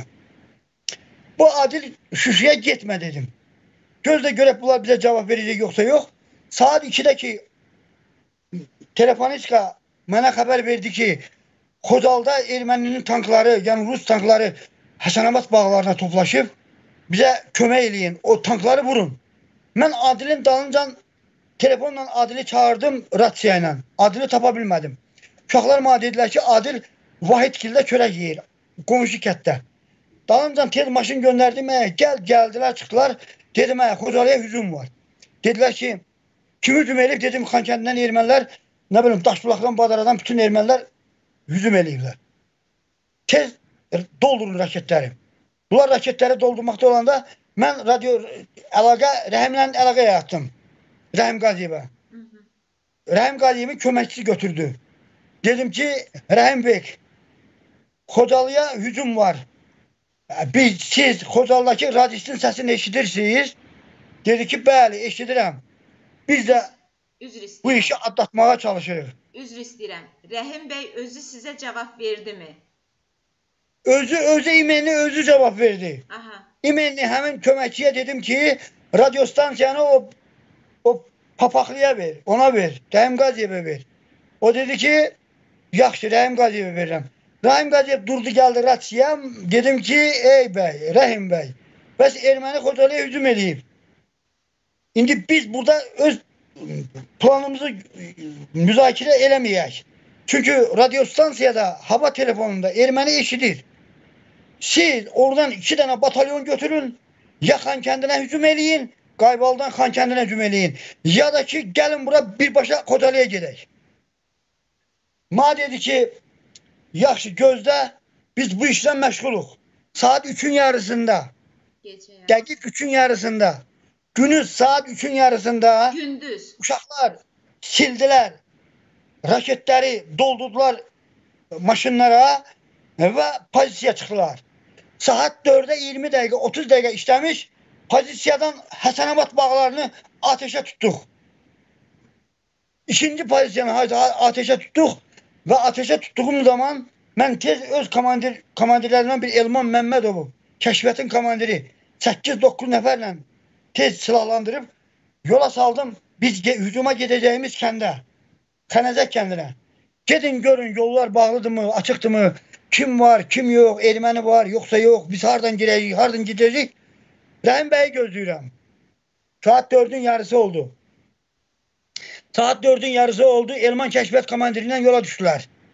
Yarım saattan sonra Elman mənə xəbər göndərdi ki, biz biz öz yerimizə çatırıq. Burada Rus tankları olubdu. Gəliblər kəndin kənarında. Orada Çayqovşan deyilən yer var. Oradan geri qayıdıblar. Tanklar kəndin içində giriblər, girməyiblər mən deyə bilmərəm. Mökəm qar yağır, dumandır. Dedim ki, Elman, siz elə orada da gözləyin. Mən Rəhim bəyi nə qədər yığdım, telefonda tapa bilmədim. Mən Rəhim bəydən soruşdum ki, o köməkdən soruşdum ki, bu topu niyə atmırsınız? Bu topu nə vaxt atarsınız? Fəzail bəyə zəng elədim. Fəzail bəy dedi ki, dastasını atmışıq. Uşaqlardan soruşdum polisiyadan ki, hə, şəhərə top vurur deyil hə. Dedilər vurur, top vurur. Bəs Rəhim bəy necə oldu? Dedilər Rəhim bəy qaçdı gizləndi. Rəhim bəy yoxdur. Saat 5-in yarısıdır Rəhim bəy yoxdur sizə. Rəhim bəy radyo stansiyanı bağlayıb, hər şeyi qoyub qaçıb. Dedim qaçmaz Şuşa şəhərindədir. Oradan Murova xəbər verdim. Oradan yoldaşlara xəbər verdim. Gedin Rəhim bəyi tapın. O Rəhim bəyi tapın. Xocalı işğal olunur. Xocalıya hücum gedir. Ermənilər Xocalıya hücum edirlər. O aeroporta çatırlar. Rəhim bəydən heç bir xəbər çıxmadı. Rəhim bəy o bağlayan telefonu bağladı. Qaçdı gizləndi. O qız ağlaya ağlaya axırda dedi ki, vurun Xocalını, vurun. Bizim analarımızı, bacılarımızı qırdılar. Bütün gedən döyüşün hamısını Rəhim qəz sarbat elədi. Bütün döyüşü Rəhim sarbat elədi. Hə, bütün döyüşü. İnsan həyatdan nə qədər şərəfsiz, nə qədər binamus, nə qədər alçaq, nə qədər başında buxara papa olan alçaq ola bilər dünyada. Mən elə bir alçaq bu dünyada mən görməmişəm. Bu xalq cəbhəsi, bu xalq cəbhəsi, bu Şuşanı da Qarabağda bu xalq cəbhəsi verdi. O da Rəhim Qaziyevin əli ilə, özlərinin komandası ilə, özlərinin dostları ilə. Mən fikirləşə bilmirəm ki, həyatdan necə mənə deyərlər ki, sən kösalardan çıx ilə, o erməni kösalar alsın. Mən necə eləyə bilərəm bunu? Kim deyir desin, laf gəlsin, e, Şayqu desin, misal üçün. Rus naziri pısatma desin. Və yaxud da gəlsin Azərbaycan Respublikasının bir prezidenti maddəsin, gəl çıx oradan qoy erməni oranı alsın. Elə şey olar, elə vicdansızlıq olar ki, mən o torpağımı bir adam sözündən verim, qaçırım və Xocalının işğalına getməyim, kömək eləməyim. E, demək Həmin saat 6-ya qədər 6-ya qədər biz gözlədik. 6-ya qədər atdıq, amma heç bir mənası olmadı. Və hücum da dayandı. Rəhim Qaziyev qaçdı, gizləndi. Hücumu dayandırdı, taktikanı dayandırdı. Rus qoşunun tankları əksinə çıxdılar o o 366 alayın tanklarından bir neçəsi çıxdı. O təpə deyirik. Xoruz təpəsi deyirik. O təpədən başladı təzən biz atmağa. Bu faciələr hamısı Şuşanın Xalq cəbhəsinin Şuşanın başında fırladığı oyunlarıdır. İndi siz qulaq asın mənə, mən sizə Şuşanın işğalından danışım. Deməli, Üzr istəyirəm. Üzr istəyirəm. Bir dəqiqə mənim dəqiqləşdirici suallarım var. E, indi bizə qulaq asanların içində hərbçilər də olacaq, döyüşçülər də olacaq. Mən istəyirəm ki, onlar da bütün bunları eşitsinlər. Sizin planınız Rəhim Qaziyevə o olub ki, onlar da aşağı düşsün, sizə yəni qüvvə kömək lazım olub. Onlar da düşsün aşağı. Siz də iki tərəfli və yaxud da ki, onlar gəlsin Kösalıdan 201 iki dəstə, yəni iki qrup bir yerdə üzü aşağı düşəsiz. E, kəndin adını e, üzr istəyirəm, nə dediniz? Xənəcək kəndi, Ballıca kəndi. Vallahi. Mən Rahim Qadiyevə dedim ki, qarşımızda Xocalı ilə bizim qarşımızda iki erməni kəndi durur. Biz Xocalı ilə buradan həmin kəndlərə hücum eləsək, erməni müharibəni dayandıracaq Xocalıda. Hı -hı. Çünki burada kəndi qırğına verməyəcəkdi. Aha, Nəyin bahasına olsa bizə atbet verəcəkdi. aha. Onun da atbet verməyə qüvvəsi yoxdur. O atbet verənə qədər biz kəndi qıracağıq. Gəl bizə kömək elə. Aha. Bizə qoşun çıxar. o da gəlmədi. Aydındır. O gitmədi yox, telefonu bağladı. Rasiyanı bağladı. Rasiyada bizim telefonumuza özünüz bilirsiniz ki o telefon hansı ki el telefonu, ev telefonudur. Hava xətti ilə Şuşa ilə bizim aramızda birləşdirmişdilər. Göydə hava ilə hava xətti ilə ev nömrəni yığırdıq. Poçtla telefon əlaqəsi yaradırdıq. Hı -hı. Və eyni zamanda rasiya ilə əlaqə yaratdıq. Rəhim Qaziyev heç bir danışığa cavab vermədən telefonu söndürdü, qaçdı. Demək, bir məqamı da vurğulamaq istəyirəm. Siz dediniz ki, qar da yağmışdı, duman idi. Bu mənə nəyi xatırlatdı? Rəhim bəydən mən bir dəfə sual verdim, soruşdum. E, bundan qabaqki da bir dəfə e, müsahibələrimin birində bunu qeyd eləmişəm. Raf İbrahimov Amonçu Rəhim Qaziyevin yanında Cangüdən olub. O danışıb mənə ki, 2014-cü ildə təxmini mənə danışdı ki, biz nə qədər elədik, Rəhim bəy icazə vermədi ki, biz qradlardan atəş açaq. Yəni qradlara tapşırılsın ki, atəş açsın kömək kimi Xocalıya. Mən Rəhim bəydən sual verib soruşanda ki, Rəhim bəy bunu niyə belə eləmisiniz? O mənə cavab verdi ki, duman idi. Biz onsuz da görmürdük hara atacağıq. Sözsüz e, bu bu söz biraz indi o vaxtı mən ona inandım çünki mən o vaxtı hələ təzə başlamışdım müharibə tarixini araşdırmağa. Texnikadan da başım çıxmırdı. İndi mənim üçün maraqlı məqam odur ki, demək Rəhim Qaziyev dəqiqliyi ilə hadisələri xatırlayır ki, həmin gün duman olduğunu mənə demişdi. Bax siz də indi onu təsdiqlədiniz ki, həmin gün hava dumanlı olub. Amma əlbəttə ki, Rəhim Qaziyev dumanı bəhanə gətirə bilməz. O qradların atmasına əmr verməyib, icazə verməyib. Bu ortadadır. İndi də siz çox böyük bir e, xəyanəti üstünü açdınız. Mən sadəcə olaraq mən bilmirəm Rəhim Qaziyev bütün bu e, cinayətlərin cavabını necə verəcək. Mən təsəvvür eləyə bilmirəm artıq. Oldu. Buyurun, keçək ə, e, ayın 7-sinə. Rəhim, Rəhim Qaziyevin qabağında hansı duman vardı? Saat 3-ün yarısında Xocalı çevirirdi ki, Həsənabad bağlarını burun. Mən Həsənabad bağlarının gözümün qabağında açıqdı. Duman yox, bir şey yox. Həsənabad bağlarını atırdım. Və Rəhim Qaziyev yatmırdı. Hansı duman gecə gəlib, saat 8-dən sonra, 7-dən 8-dən sonra duman gəlib. Kəşfiyyatın komandiri mənə zəng elədi ki, biz yolları açmışıq, hazırıq, ordu girə bilər. Gəlin, Rəhim Qaziyevin ordusu gəldi, çıxdı mı dedim, heç də gəlmədi, Rəhim Qaziyev qaçdı. Bu qədər namussuzluq, Aydındır. bu qədər şərəfsizlik həyatda ola bilməz. Aydındır. Ayın 7-sində, deməli bunlar 29 apreldə, 29 martın acığını almaq üçün Təzədən mənim fanar postuma Hacı Talasına hücum elədilər. Və o hücum müddətində onlar darmadağın olub geri çəkildilər. Orasını da danışmıram. Ayın 29-da Ramiz Qəmbərov öləndən sonra bu e, Orucov Elburuz gəlib kəndə. Əşrəf adında həmən o deyir, Əhliman ki, Əşrəf gəldim ki, durub baxır ermənilər də ştaba yaxınlaşır. Həmən Əşrəfin yanına gəlib deyib ki, Mehman Quliyev kətdən çıxmalıdır. Bu tutulum Müdafiə Nazirinə göndərilməlidir. Çünki bu adam birbaşa birbaşa Ramiz Qəmbərin ölümündə günahkardır. Mən də buna sual, mən də bu Əşrəfə sual verdim ki, hə, Əşrəf, bunlar hücum eləyib gəlib Hacı Talasını alıb, oradan gəlib mənim fanar postumu alıb. Fanar postunda bir dənə əskər, eşitmişsiniz dedim, Elşan adında tək bir dənə Ağdaşlı əskər qalıb, 3 avtomatdan atır. Qəhrəman oğlan. Bunlar hücum eləyiblər.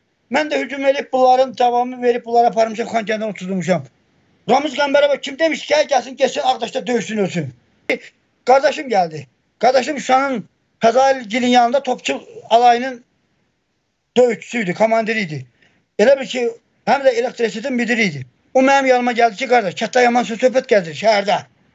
Bu, bu günlərdə Oruzo Belburus gəlib bura. Bayt bayramımızda deyilər ki, qələt eləyir. Oruzo Belburus. Sən gəl bir-iki günə bu kənddən bir gedək. Bir dincələk, başqa yerə gedək. Eşidirsiniz məni? Eşidirəm.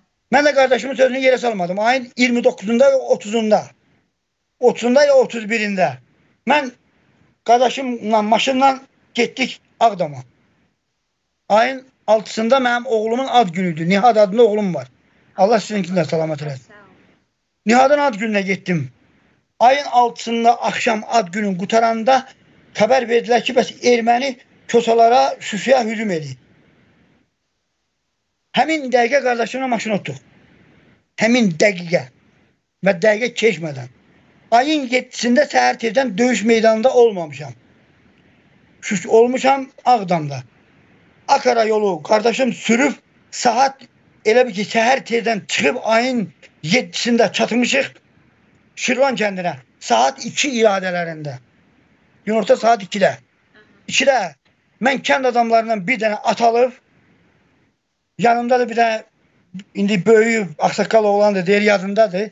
Gəldin ayın 7-sində günorta səni atla apardım dağda. şeyin yaylağından yola saldım. O dağdan yola saldım.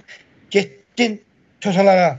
O Yalova kendinin başının üstü vardı. O muhteşem deyirlər. Həmin muhteşem yaldan səni yola saldım. Dedim, deydim hə, həmişə gəlib görüşəndə dedim yadımdadır. Muhteşemdən məni yola saldı. Atla apardı. Mən muhteşemdən yola saldı və o muhteşemdən mən öz kəndimizə getdim.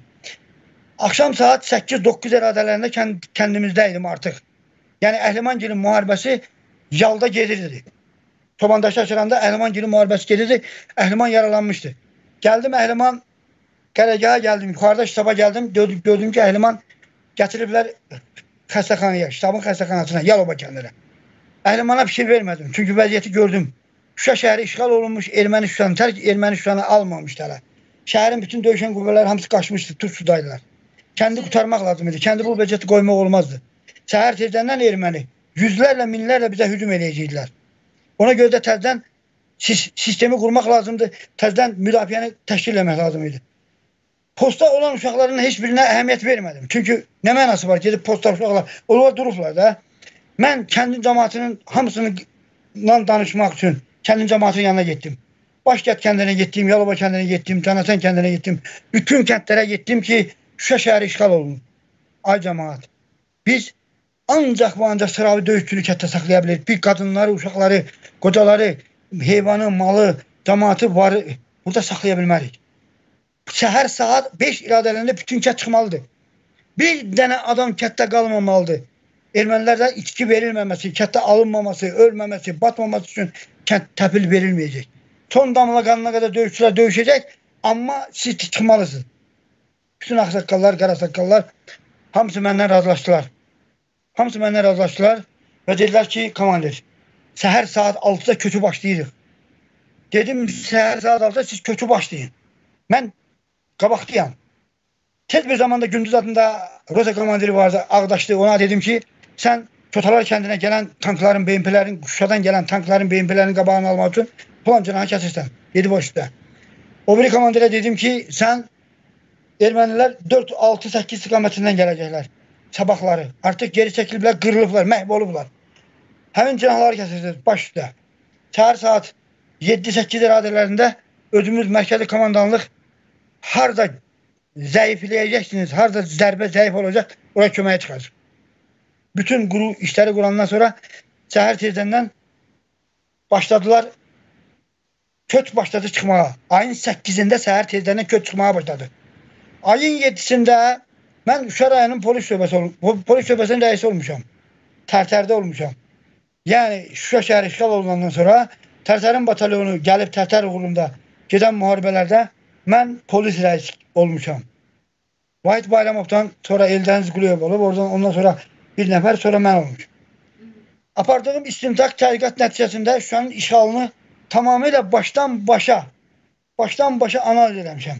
Və bütün hər şeyi yer və yerində öyrənmişəm. Şuşa şəhərinin işğal olunmamışdan qabaq Oruzov Elbrus adlı bir polkovniki onlar Rəhim Qaziyevin əlinlə Şuşa şəhərinə komendant göndəriblər. Həmin komendant ki, Əşrəfə sənət göstərib ki, Ramiz Qəmbərovun ölümündə Mehman günahkardır. Mehman çıxmalıdır. Mehmanı biz götürməliyik ortadan. Əşrəf Fazili mənim yanıma gəlib, mənə deyib ki, Ramiz bu komandir deyir ki, Ramiz Qəmbərovun ölümündə sən günahkarsan. Çünki erməninin hücumunu sən təşkil eləmisən. Ramiz Qəmbərov niyə sizə gəlib köməyə?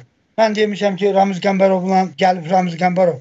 Fəxrəddin bir də mən Kerebyovka atmışıq üçümüz püş kəsmişik. Sən oradan hücum edirsən, sən oradan söylsən, mən də buradan hücum edirəm. Onlar oradan hücum ediblər, qırılıblar. Burada mənim günahım nədir? Sadəcə olaraq döyüş başlamamışdan qabaq ayın 7-sində xat cəbhəsinin üzvləri Balakisdə postaymışlar. Xat cəbhəsinin döyüşçüləri 21 nəfər. Onlar postaymışlar. Oruzovun Elbrus'un gösterişiyle Oruzov Elbrus bilir ki Erməninin tankları, texnikaları artıq yeriyir. Ayın 7-si saat 2-də. Bir də artıq məlumdur ki, neçə texnika, neçə tank, neçə piyada qoşunu, neçə hissə, hansı hissələrdən hərəkətə başlayıb. Bunu cənab komandan gözəl bilir. Qəşək bilir. Və özün yalandan ora bura vurur. Heç kimə bir söz demir. Vahid Bayramova demir ki, Vahid Bayramov erməni hücuma gəlir, o deyil yoldadılar. Vahid Bayramov gedib qardaşının yaşına, yasına, sabah səhər 8-də o gedəcək qardaşının yaş, ya, yasına və Şuşa yiyəsiz qalacaq. Bəli, e, Bayramov e, Ağdama səhvləmirəmsə gedib, Yasa gedib. Yox, Laçına. Laçına gedib. Hə, hə, Laçına. Çünki bir məqamda var. Mən doğrusu Vahid Bayramov ə, bəylə danışdım, amma nəsə heç onu dəqiqləşdirmək ağlıma gəlmədi. Çünki mən ümid eləyirdim ki, ə, cənab Bayramovla bizim bir müsahibəmiz olacaq. Amma o 8-i demək Şuşa tutulanda 7-si. 7-si tutulanda. 8-ində. O o 8-ində 7-sində erməni hücum eləyib 8 Şuya. 8-ində, 8-də, 8-də səhər tezdən. Hə. 8-də o Sürət Hüseynovun kabinetində olub Yevlaxda. Mənim üçün də maraqlıdır ki, o Laçına əgər hüzurda idisə, e, yəqin ki, Sürət Hüseynovdan e, silah sursat almaq üçün gedib. Çünki mən Sürət Hüseynovun özündən də eşitmişəm ki, o e, məhz Vahid Bayramova verirmiş silahları hər zaman Vahid bəy gəlirmiş onun yanına ki, gəlsin silah sursat aparsın. İndi e, burada maraqlı məqam bilirsiniz nədir? Vahid Bayramov yaxşı, indi hüzur e, səbəbindən çıxmışdı. Heç Vahid Bayramovun orada olmağı önəmli də deyildi axı. Hərbi e, qoruyan qüvvə var. Briqadanın komandiri var. Özü də akademiya e, təhsilli bir hərbçidir. Orucovdan gedir söhbət o özü Şuşanı müdafiəsini təşkil eləməli idi. Və siz e, bayaq e, Azay Kərimovun adını çəkdiniz. Azay Kərimov deyir ki, axşam e, mən e, Elbrus Orucova dedim ki, bu gecə hücum başlayacaq. Və mənim yanımda e, Rəhim Qaziyevlə e, o Elbrus Orucov danışdı. Ona dedi ki, bu gecə e, hücum başlayacaq. Və Rəhim Qaziyevin də mənə illər öncə verdiyi müsahibədə söz arası danışanda onu da deyir ki, hə mənə zəng elədi Orucov dedi ki, hücum başlayacaq. Mən də ondan soruşuram ki, saat neçədə? Deyir ki, saat 8 olardı. Yaxşı. Saat e, axşam saat 8-dir. Ayın 7-sidir. Kəşfiyyat komandiri deyir ki, bu gecə hücum olacaq. Orucov bilir hücum olacaq. Müdafiə naziri bilir hücum olacaq. Bəs hərəkət hanı? Niyə bir dənə hərəkət yoxdur şəhəri qorumaq üçün? İndi qulaq asın. Buyurun. Nail Kazımov, Xat cəbhəsinin batalyonu. Nail Kazımov Tursunun Balakis, Böyük Kisin Balakisdə postdan düşüb, gəlib şəhərə. Silahını tulluyub, deyib mən döyüşmürəm. Oruca ver Bursa deyib. Deyib, niyə döyüşmürsən? Deyib, ona görə ki, Balakir istiqamətində bir polk gəlir. O polkun qabağında 21 nəfər mənnətər dayanır. Oruca Volbi sonra deyib ki, sən gözdə yenə kömək gələcək. Sən deyib, mən öləndə kömək gələcək. Ona görə mən gedirəm. O silahların töküb, icra hakimiyyətinin, polisin, icra hakimiyyətinin töküb yerə, minib maşınına Şuşanı tərk eləyib. Sonradan, Ayın 7-sində. sonradan qayıdıb amma yox. Mən onun qayıdıb qayıtmamağı haqqında heç bir məlumatım yoxdur. Çünki Məhkəmədə ona ne, neçə il iş verdilər? Yox, e, bilirəm, amma Nail Kazımov yenidən qayıdıb və yenidən orada yaralanıb. İndi bilmirəm harda yaralanıb, qalxıbmı kirsə yaralanıb. Onu deyə bilmərəm, yalan olar. Amma bilirəm. Bir dəqiqə üzr istəyirəm. Buyurun. Fərmaili, Fərmaili. Şuşa, Şuşa rayon polis batalyonunun göndəriblər Tursuya. Aha. Tursuda Fərmail qəşəng heyvanlardan, zadlardan inək kəsib yeyib, kababdan zaddan yeyəndən sonra 5 nəfəri qoyub Balakirsin başında.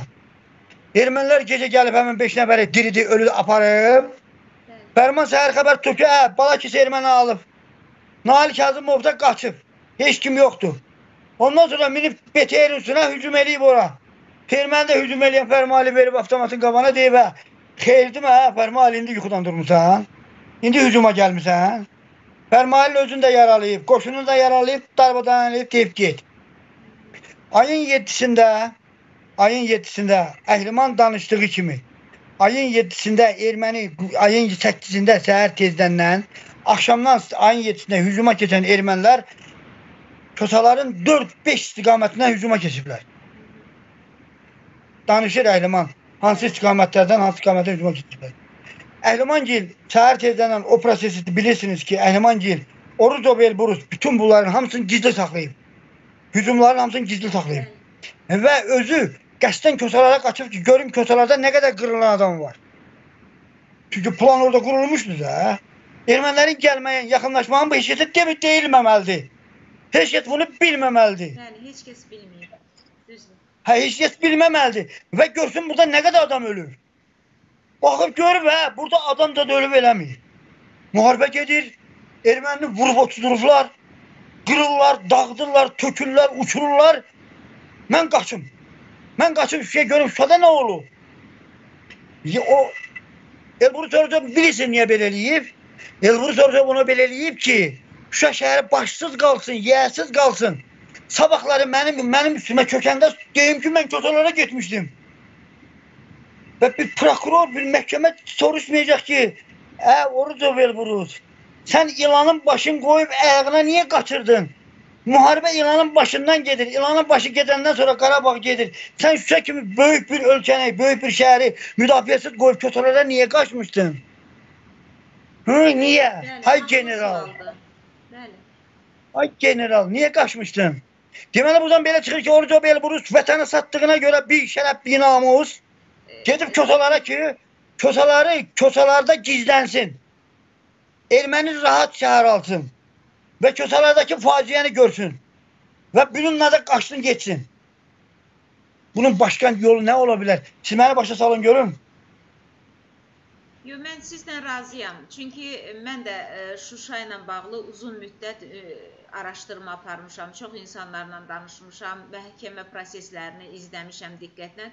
Mənim də gəldiyim nəticə budur ki, Şuşanı saxlamaq olardı, erməni Şuşaya girə bilməzdi. Yetərdi ki, orada bir dənə ağlı başında vətənpərvər komandir olsun. Elbruz Orucov deyil, vətənpərvər, vətəninə, elinə, obasına bağlı bir insan orada otursaydı, erməni Şuşanı ala bilməzdi. Mən sizə deyim, qeyrətli vətən oğlu Vahid Bayramovdur ki, hansı ki o gərək Vahid Bayramov orada olaydı. İkinci, Vahid Bayramov yox idisə, onda Şuşanın komandir batalyonu vardı, Fəxrəddin. Fəxrəddin yerində olaydı. Yox, əgər Fəxrəddin də yerində döyülsə, yalandan özünü göstərir, avtomatı sinəsinə alıb, onda başqa bir komandir ortaya çıxaydı və öz öz vətəni, öz doğma torpağı Şuşanı saxlayaydı və Orucov Elbruslara verməyəydi bu Şuşanın ipini, verməyəydi bu Orucov Elbruslara bu Şuşanın müdafiəsini.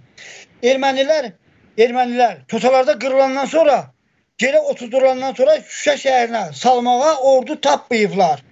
Əskər yoxdur. Aşbazın belə əlinə avtomat verib, polisin belə əlinə avtomat verib, kəndçi, kündçü nə qədər silahdan başı çıxmayan adamların əlinə silah verib, kösaların üstə təzdən göndərir. Şuşa şəhərinə verməyə adam vardı ki, güya Oruco Belburus qoyub ayın 8-də qaçıb, orada adam vardı. Bizim tankımız orada keçən dəfə de deyildi ki, bizim tankımız tankımız dağlarda o Qırılovun minamet dəstəsinə kömək olaraq ondan da yaxşı döyüş taktikası keçirib Elçin adında e, döyüşçü, tankist, yanında İlqar adında. Onlar ikisi, onlar ikisi o qədər güclü vətənpərvərlik eləyiblər ki, deməli onların axı cinayəti qutarıb.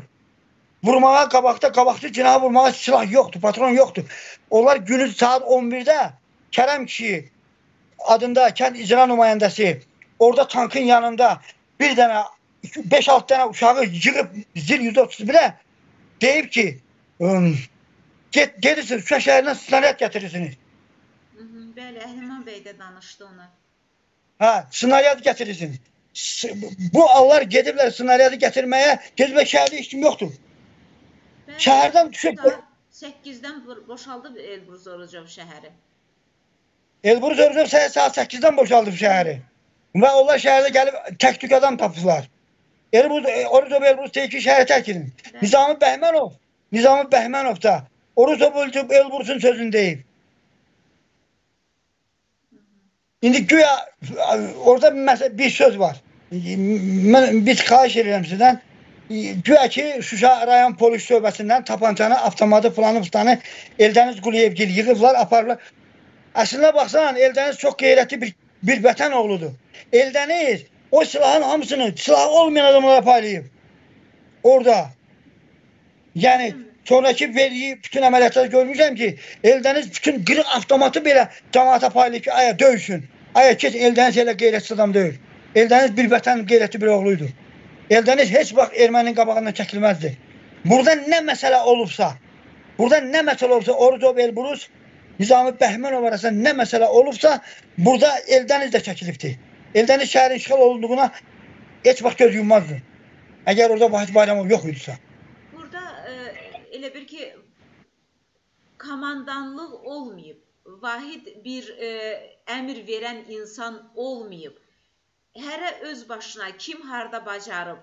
Məsələn, e, bu e, keçən dəfə Fəzail bəy də danışdı, e, çox geniş danışdı. Hər şey olduğu kimi yerli yerində. Baxır insan bütün bu proseslərə və görür ki, kim harda bacarıb, vuruşub da, ölənimiz də var, qalanımız da var. Yəni insanlar vuruşub, amma komandanlıq olmayıb.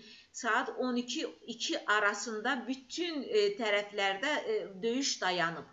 Döyüş dayandı, Mən- mən- Elbruz orucu. Mən sizə bir şey deyim. Bəli. Əgər Şuşa batalyonu Tursuda, böyük kisdə, bala kisdə Tursuda olmasaydı Fərmanın batalyonu, pa- Fərmanın batalyonu, Fərmanın batalyonu, o Fərmanın batalyonu hökmən şəhəri qoruya bilərdi.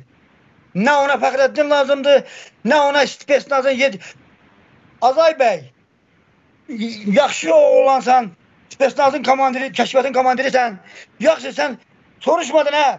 777-nin komandiri Elçin, Elçin, ay Elçin. Bu, bu tankları piyada kaçaydınız da elə Şuşadan Tursuya. Tankları niye minip kaçırsınız?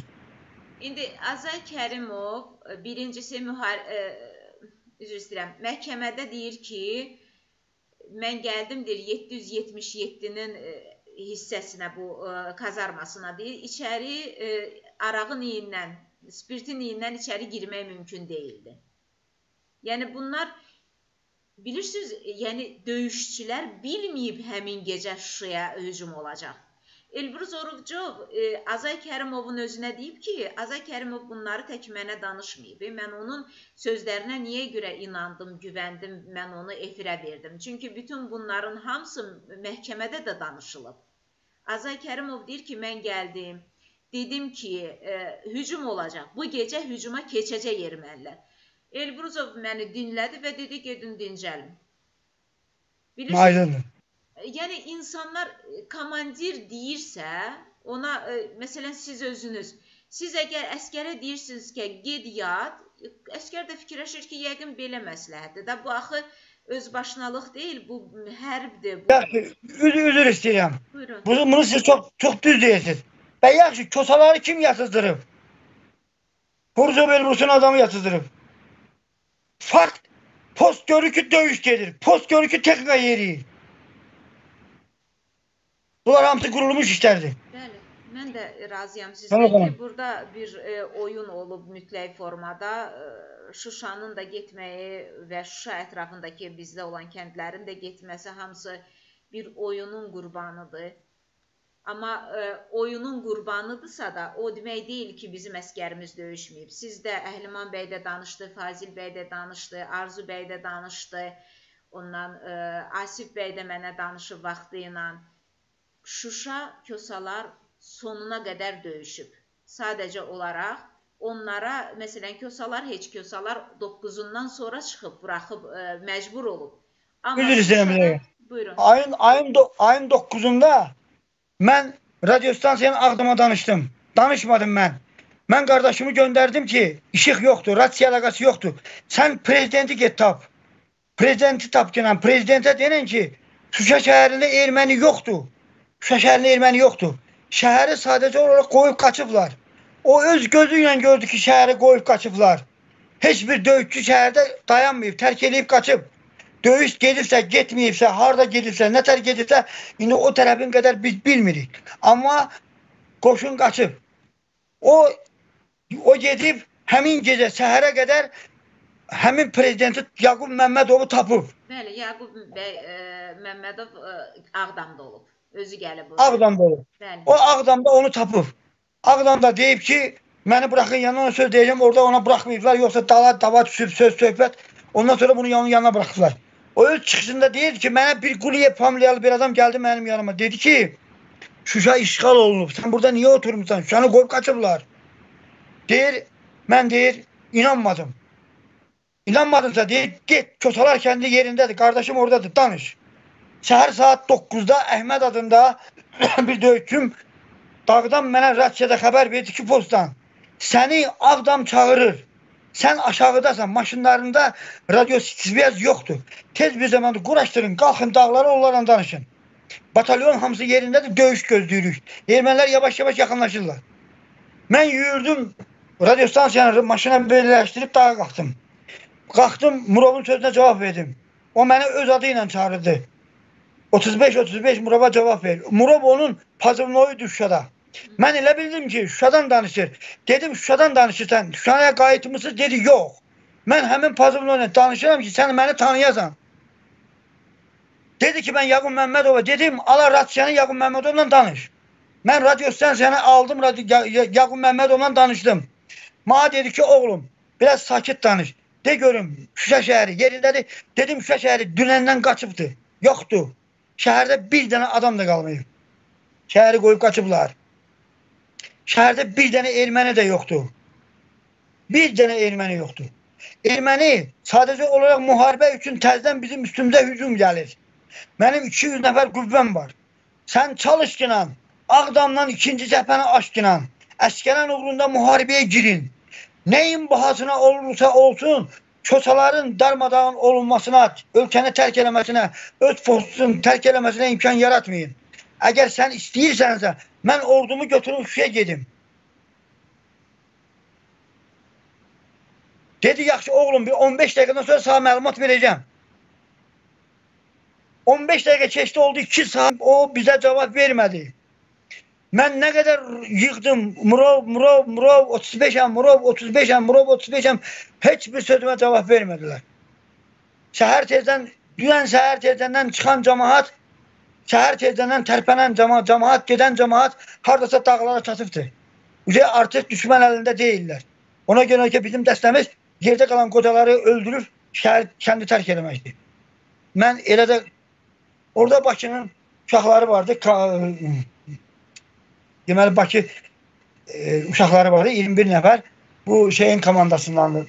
Etibar Məmmədovun komandasındandır. Deməli Zeynal adında e, Morslotun komandiri olmuş, komandiri olmuş. Bir də e, Sədiyar adında onlara onlar qeyrətlə vuruşdular axıra qədər və son da, dəm, da, son anında da son anında da çıxanda dedik ki, qocaları açın. Qoca arvadlar ermənilərin əlinə keçməsinlər. Onlar bir qocanı orada götürdülər, dağın dalına keçirdilər. Onlara daldan çevirdim, çağırdım ki, vurun, öldürün, qoymayın sağ qalsın. Tərpənin, dağın o bir başından keçin, gelin. Biz beləliklə Yaqub Məmmədovun gözəl sürprizi ilə, prezidentliyi ilə, komandanlığı ilə Bişir Həmqadiyevi tapa bilməyib, Şahin Musayevi gəzib tapa bilməyib və bununla da Qarabağın işğalına son qoyub. Gedib şimdi alın. Aydındır. Çox ağırdır, çox. Yəni Şuşa məsələsi o qədər ağırdır ki, nə bilim. Mən sizdən bir şey xahiş eləyəcəm. Siz bir döyüşlü danışdınız mənə keçən dəfə e, ki, necə e, bir dənə Səngərdə ilə 76 deyəsən səhv eləmirəmsə dediniz ki, erməni meyidi qalmışdı. O döyüşü danışın. Qoyun gənclərimizin e, bir qürur yeri olsun ki, bizim döyüşçülər necə e, vuruşub. Əlman onun o, o tərəfini demədi. Mənim Elmidar adında bir milisionerim var. İndi Əli Bayramlıda yaşayır. Yəni indiki Əli Bayramlıda yaşayır. Yəni Şirvan şəhərində yaşayır. Aha. Bu Əşrəf o dediyin o Elbrus Orucovun komandiri var, ya, Əşrəf, Gəncəli Əşrəf. Bu çox hündür boylu bir əs hündür boylu sarı kamuflajlı əskərdir.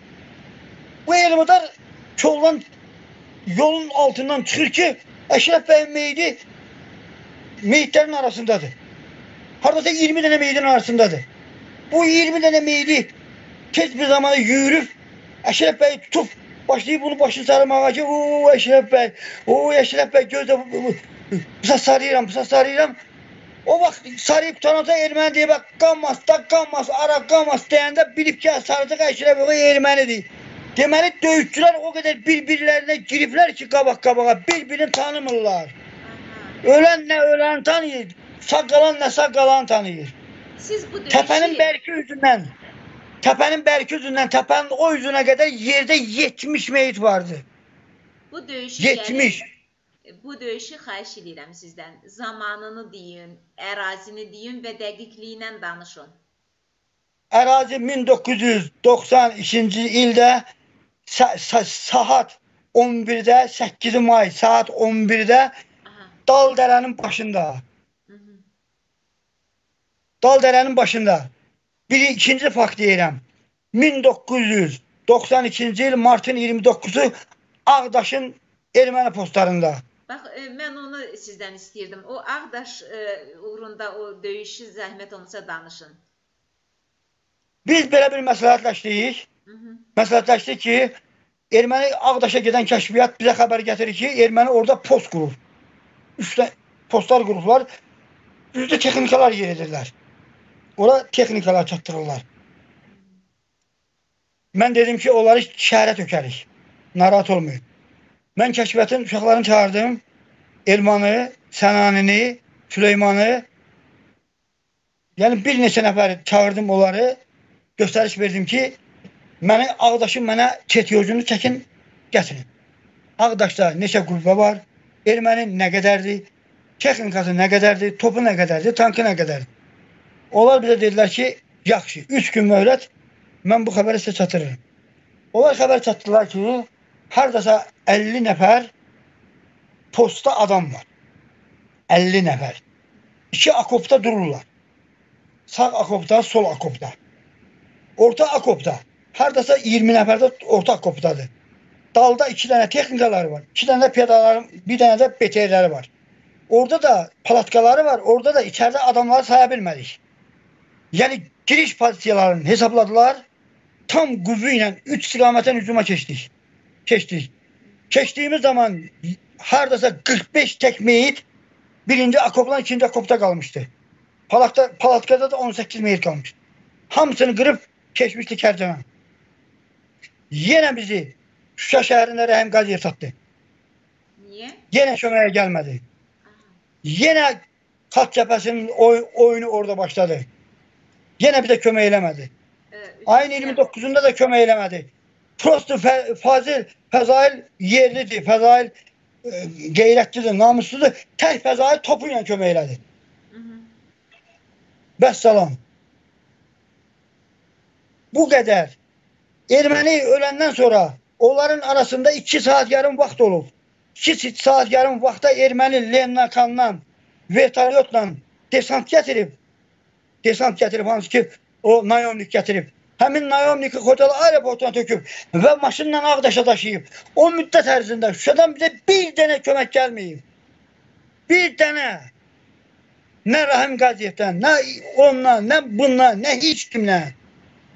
Bu qədər döyüşə olmaz ehtiratsızlıq, bu qədər vicdansızlıq olmaz. 2 saat yarım müddətində 2 saat yarım müddətində erməni qoşunu gətirib vurdu, vurdu, çıxartdı çölə bilir.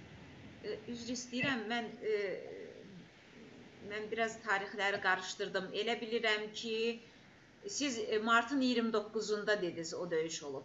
O döyüş martın 29-unda olub, bir də aprelin 29-unda. E, düşünürəm e, martın 29-unda artıq Rəhim Qaziyev Şuşada olmayıb. Olmayıb nazirdir də. Amma hə, nazir idi, düzdür. Bəli. Nazirdir də. Bəs nazir də hay düşüb Şuşa şəhəri dağılır 29 martda qoşun hücum edib Xan kəndinə hücum edən qoşun var. Dünya dağılır. Əyə kömək eləyin. Ağdam sən də elə, sən də elə. Demək siz Bunlar Ağdama-. Ağdamada xəbərdarlıqlarını düşdünüz ki, kömək lazımdır. Biz Ağdama xəbərdarlıq eləmədik. Biz onlara dedik ki, Ağdamada deyin, döyüş gedir. Aha. Kömək eləsinlər. Kim nə gücü çatır kömək eləsin. Heç kim kömək eləmədi. Yəni məqsəd Heç e, 29 martdakı döyüşün məqsədi Öz ordumuz, erməninin ordusunu darmadağın eləmək. Ağdaşdan ermənin kökün kəsmək. ki bize heç nə atmasınlar da. Orada post kuracaqdıq biz. O həmin Ağdaşdaydı da. Siz keçən dəfə dediniz ki, əgər orada bir dənə e, silahın e, demək patron qutarmasaydı və yeyəcəyi olsaydı, orada bir nəfər otursaydı bəs eləyirdi ki, heç kəsi e, oraya buraxmasın. Əlbəttə buraxmadı. Qızılqayanın başı ilə Ağdaşın başında iki dənə post kurandan sonra erməni vəbşi Kösalar torpağına ömrü boyu daha gəlməyəcəkdi. Çünki e, Kösalar torpağından erməni öz dərsini alıb gedibdi. Neçə aylar, neçə illər. Aydındır. Bir qalır bizim bu, bu gözəl Şuşamız. İndi bunlar da başlayıb pul davası edirlər. Güya Nizam Bəhmənov bu bankda 25 milyon pul, 20 milyon pulu varmış onu çıxardıb. Nə bilim o çıxardıb. Bunlar hamısı yersiz, mənasız sözlərdir. Eldəniz Quliyev ömrü boyu oradan silah çıxartmaz. Eldəniz Quliyevin nəyinə lazımdır silah? Yo, Nizami Bəhmənovun pul, çıxartdığı pul haqqında başqa məlumat da var ki, deyirlər göyə çıxartdığı pulu elə Şuşalılara paylayıb filan bəs məkan onun indi siz demiş heç bir əhəmiyyəti yoxdur. Onun heç bir əhəmiyyəti yoxdur. Əsas Mənası odur yox. ki, e, qorunması ha-. Bəli, qorunması asan olan bir şəhəri buraxıb çıxıblar şəhərdən. Yəni Qaçıblar. yenə də yox, mən qaçıblar, ə, əskərə qaçıblar demirəm. Ə, əlbəttə ki, rəhbərlik qaçıb. Rəhbərlik ə, qaçmasaydı şəhəri əskər də qoyub çıxmazdı. Hər halda əskərlərimiz vuruşub, şəhid olanlarımız var. Allah şəhidlərimizə Allah rəhmət eləsin. Vuruşublar, Allah rəhmət eləsin. Amma başsız olublar. qazilər, bəli, Yiyələri qazilərimizə o də can sağlığı. vursunlar. Bəli, başsız olublar. Yiyəsiz yəni vuruşublar. mən çox böyük yəni təəccüb keçirdirəm ki, Elbrus Orucov saat 12-2 arasında bütün ərazi üzrə Şuşanın ətrafında e, hücum dayanıb və atışma dayanıb. Bu insanları bir araya toplaya bilərdi. Bir-bir səngərləri və yaxud da ki, e, hərbi hissələri gəzib Üzr, istəyirəm buyurun. Problem niyə o heyl olub? Problem ona görə heyl olub ki, Palajeniya elə gətirib ki, erməninin bütün qoşunu kösalarda qırılıb. Kösalar artıq hücuma keçməyə hazırlaşır. Yəni onlar Xanacək Ballıca kəndindən qorxurlar və şəhərdən qorxurlar ki, ordu geri qayıda bilər. Kösalar hücuma keçə bilər. Ona görə də Şuşada olan belə ermənini əlinə silah verib kösalar istiqamətinə qaytarıblar. Orada Belburus bunu qəşəng, gözəl bilibdi. Bilib ki, kösalar qırıb dağıdıb erməninin qulaq asırlar radio stansiyalarına. Orada Ohanyanın komandası bir-biri ilə danışır ki, el kösalar dağıtdı, qırdı, tökdü. Bütün əskərlər Hadrutdan, Martunidən köməyə çağırır. Aləm qarışıb bir-birinə. Hə, general, polkovnik. İndi general, gör Azərbaycan dövlətinin generalına fikir ver. Orudo Belburus generaldır. Orudo Belburus deyib qılçam ağrıyır, mən geri qayıda bilmərəm. Radio stansiyalar böyründə barbar bağırır erməninin radio stansiyaları. BMP-lərin hamısı erməninin radio stansiyalarıdır. Şuradan qaçırdıb çıxartdığı BMP-lər gətirdiyi tankların hamısı erməni danışığıdır. Niyə qulaq asmır deyilir Orudo Belburus onlara? Nə bilim, Rəhbərlik eləyək də. Oradan Rəhim Qadiyevə Rəhim Qadiyevə deyirdi ki, hər şey bulaqa paluçuna, hər şey gözəl, hər şey yaxşı. Vurdular, aldılar. İndi nə edeyim? Hara gedim? Bəli, bu ə, Şuşa məsələsində ən böyük müəmma bundan qabaq ə, mən müəmmaları çox hesab elirdim ki, nə bilim minaların partlamaması filan bəs məkan bu gün mənim ə, gəldiyim qənaət budur ki, ən böyük mü müəmma odur ki, 7 mayda axşam saat 8-də Azay Kərimov ə, deyib ki, bu gecə hücum olacaq. O e, e, Elbrus Orucov da e, Rəhim Qaziyevlə telefonla danışıb deyib ki, bu gecə hücum olacaq.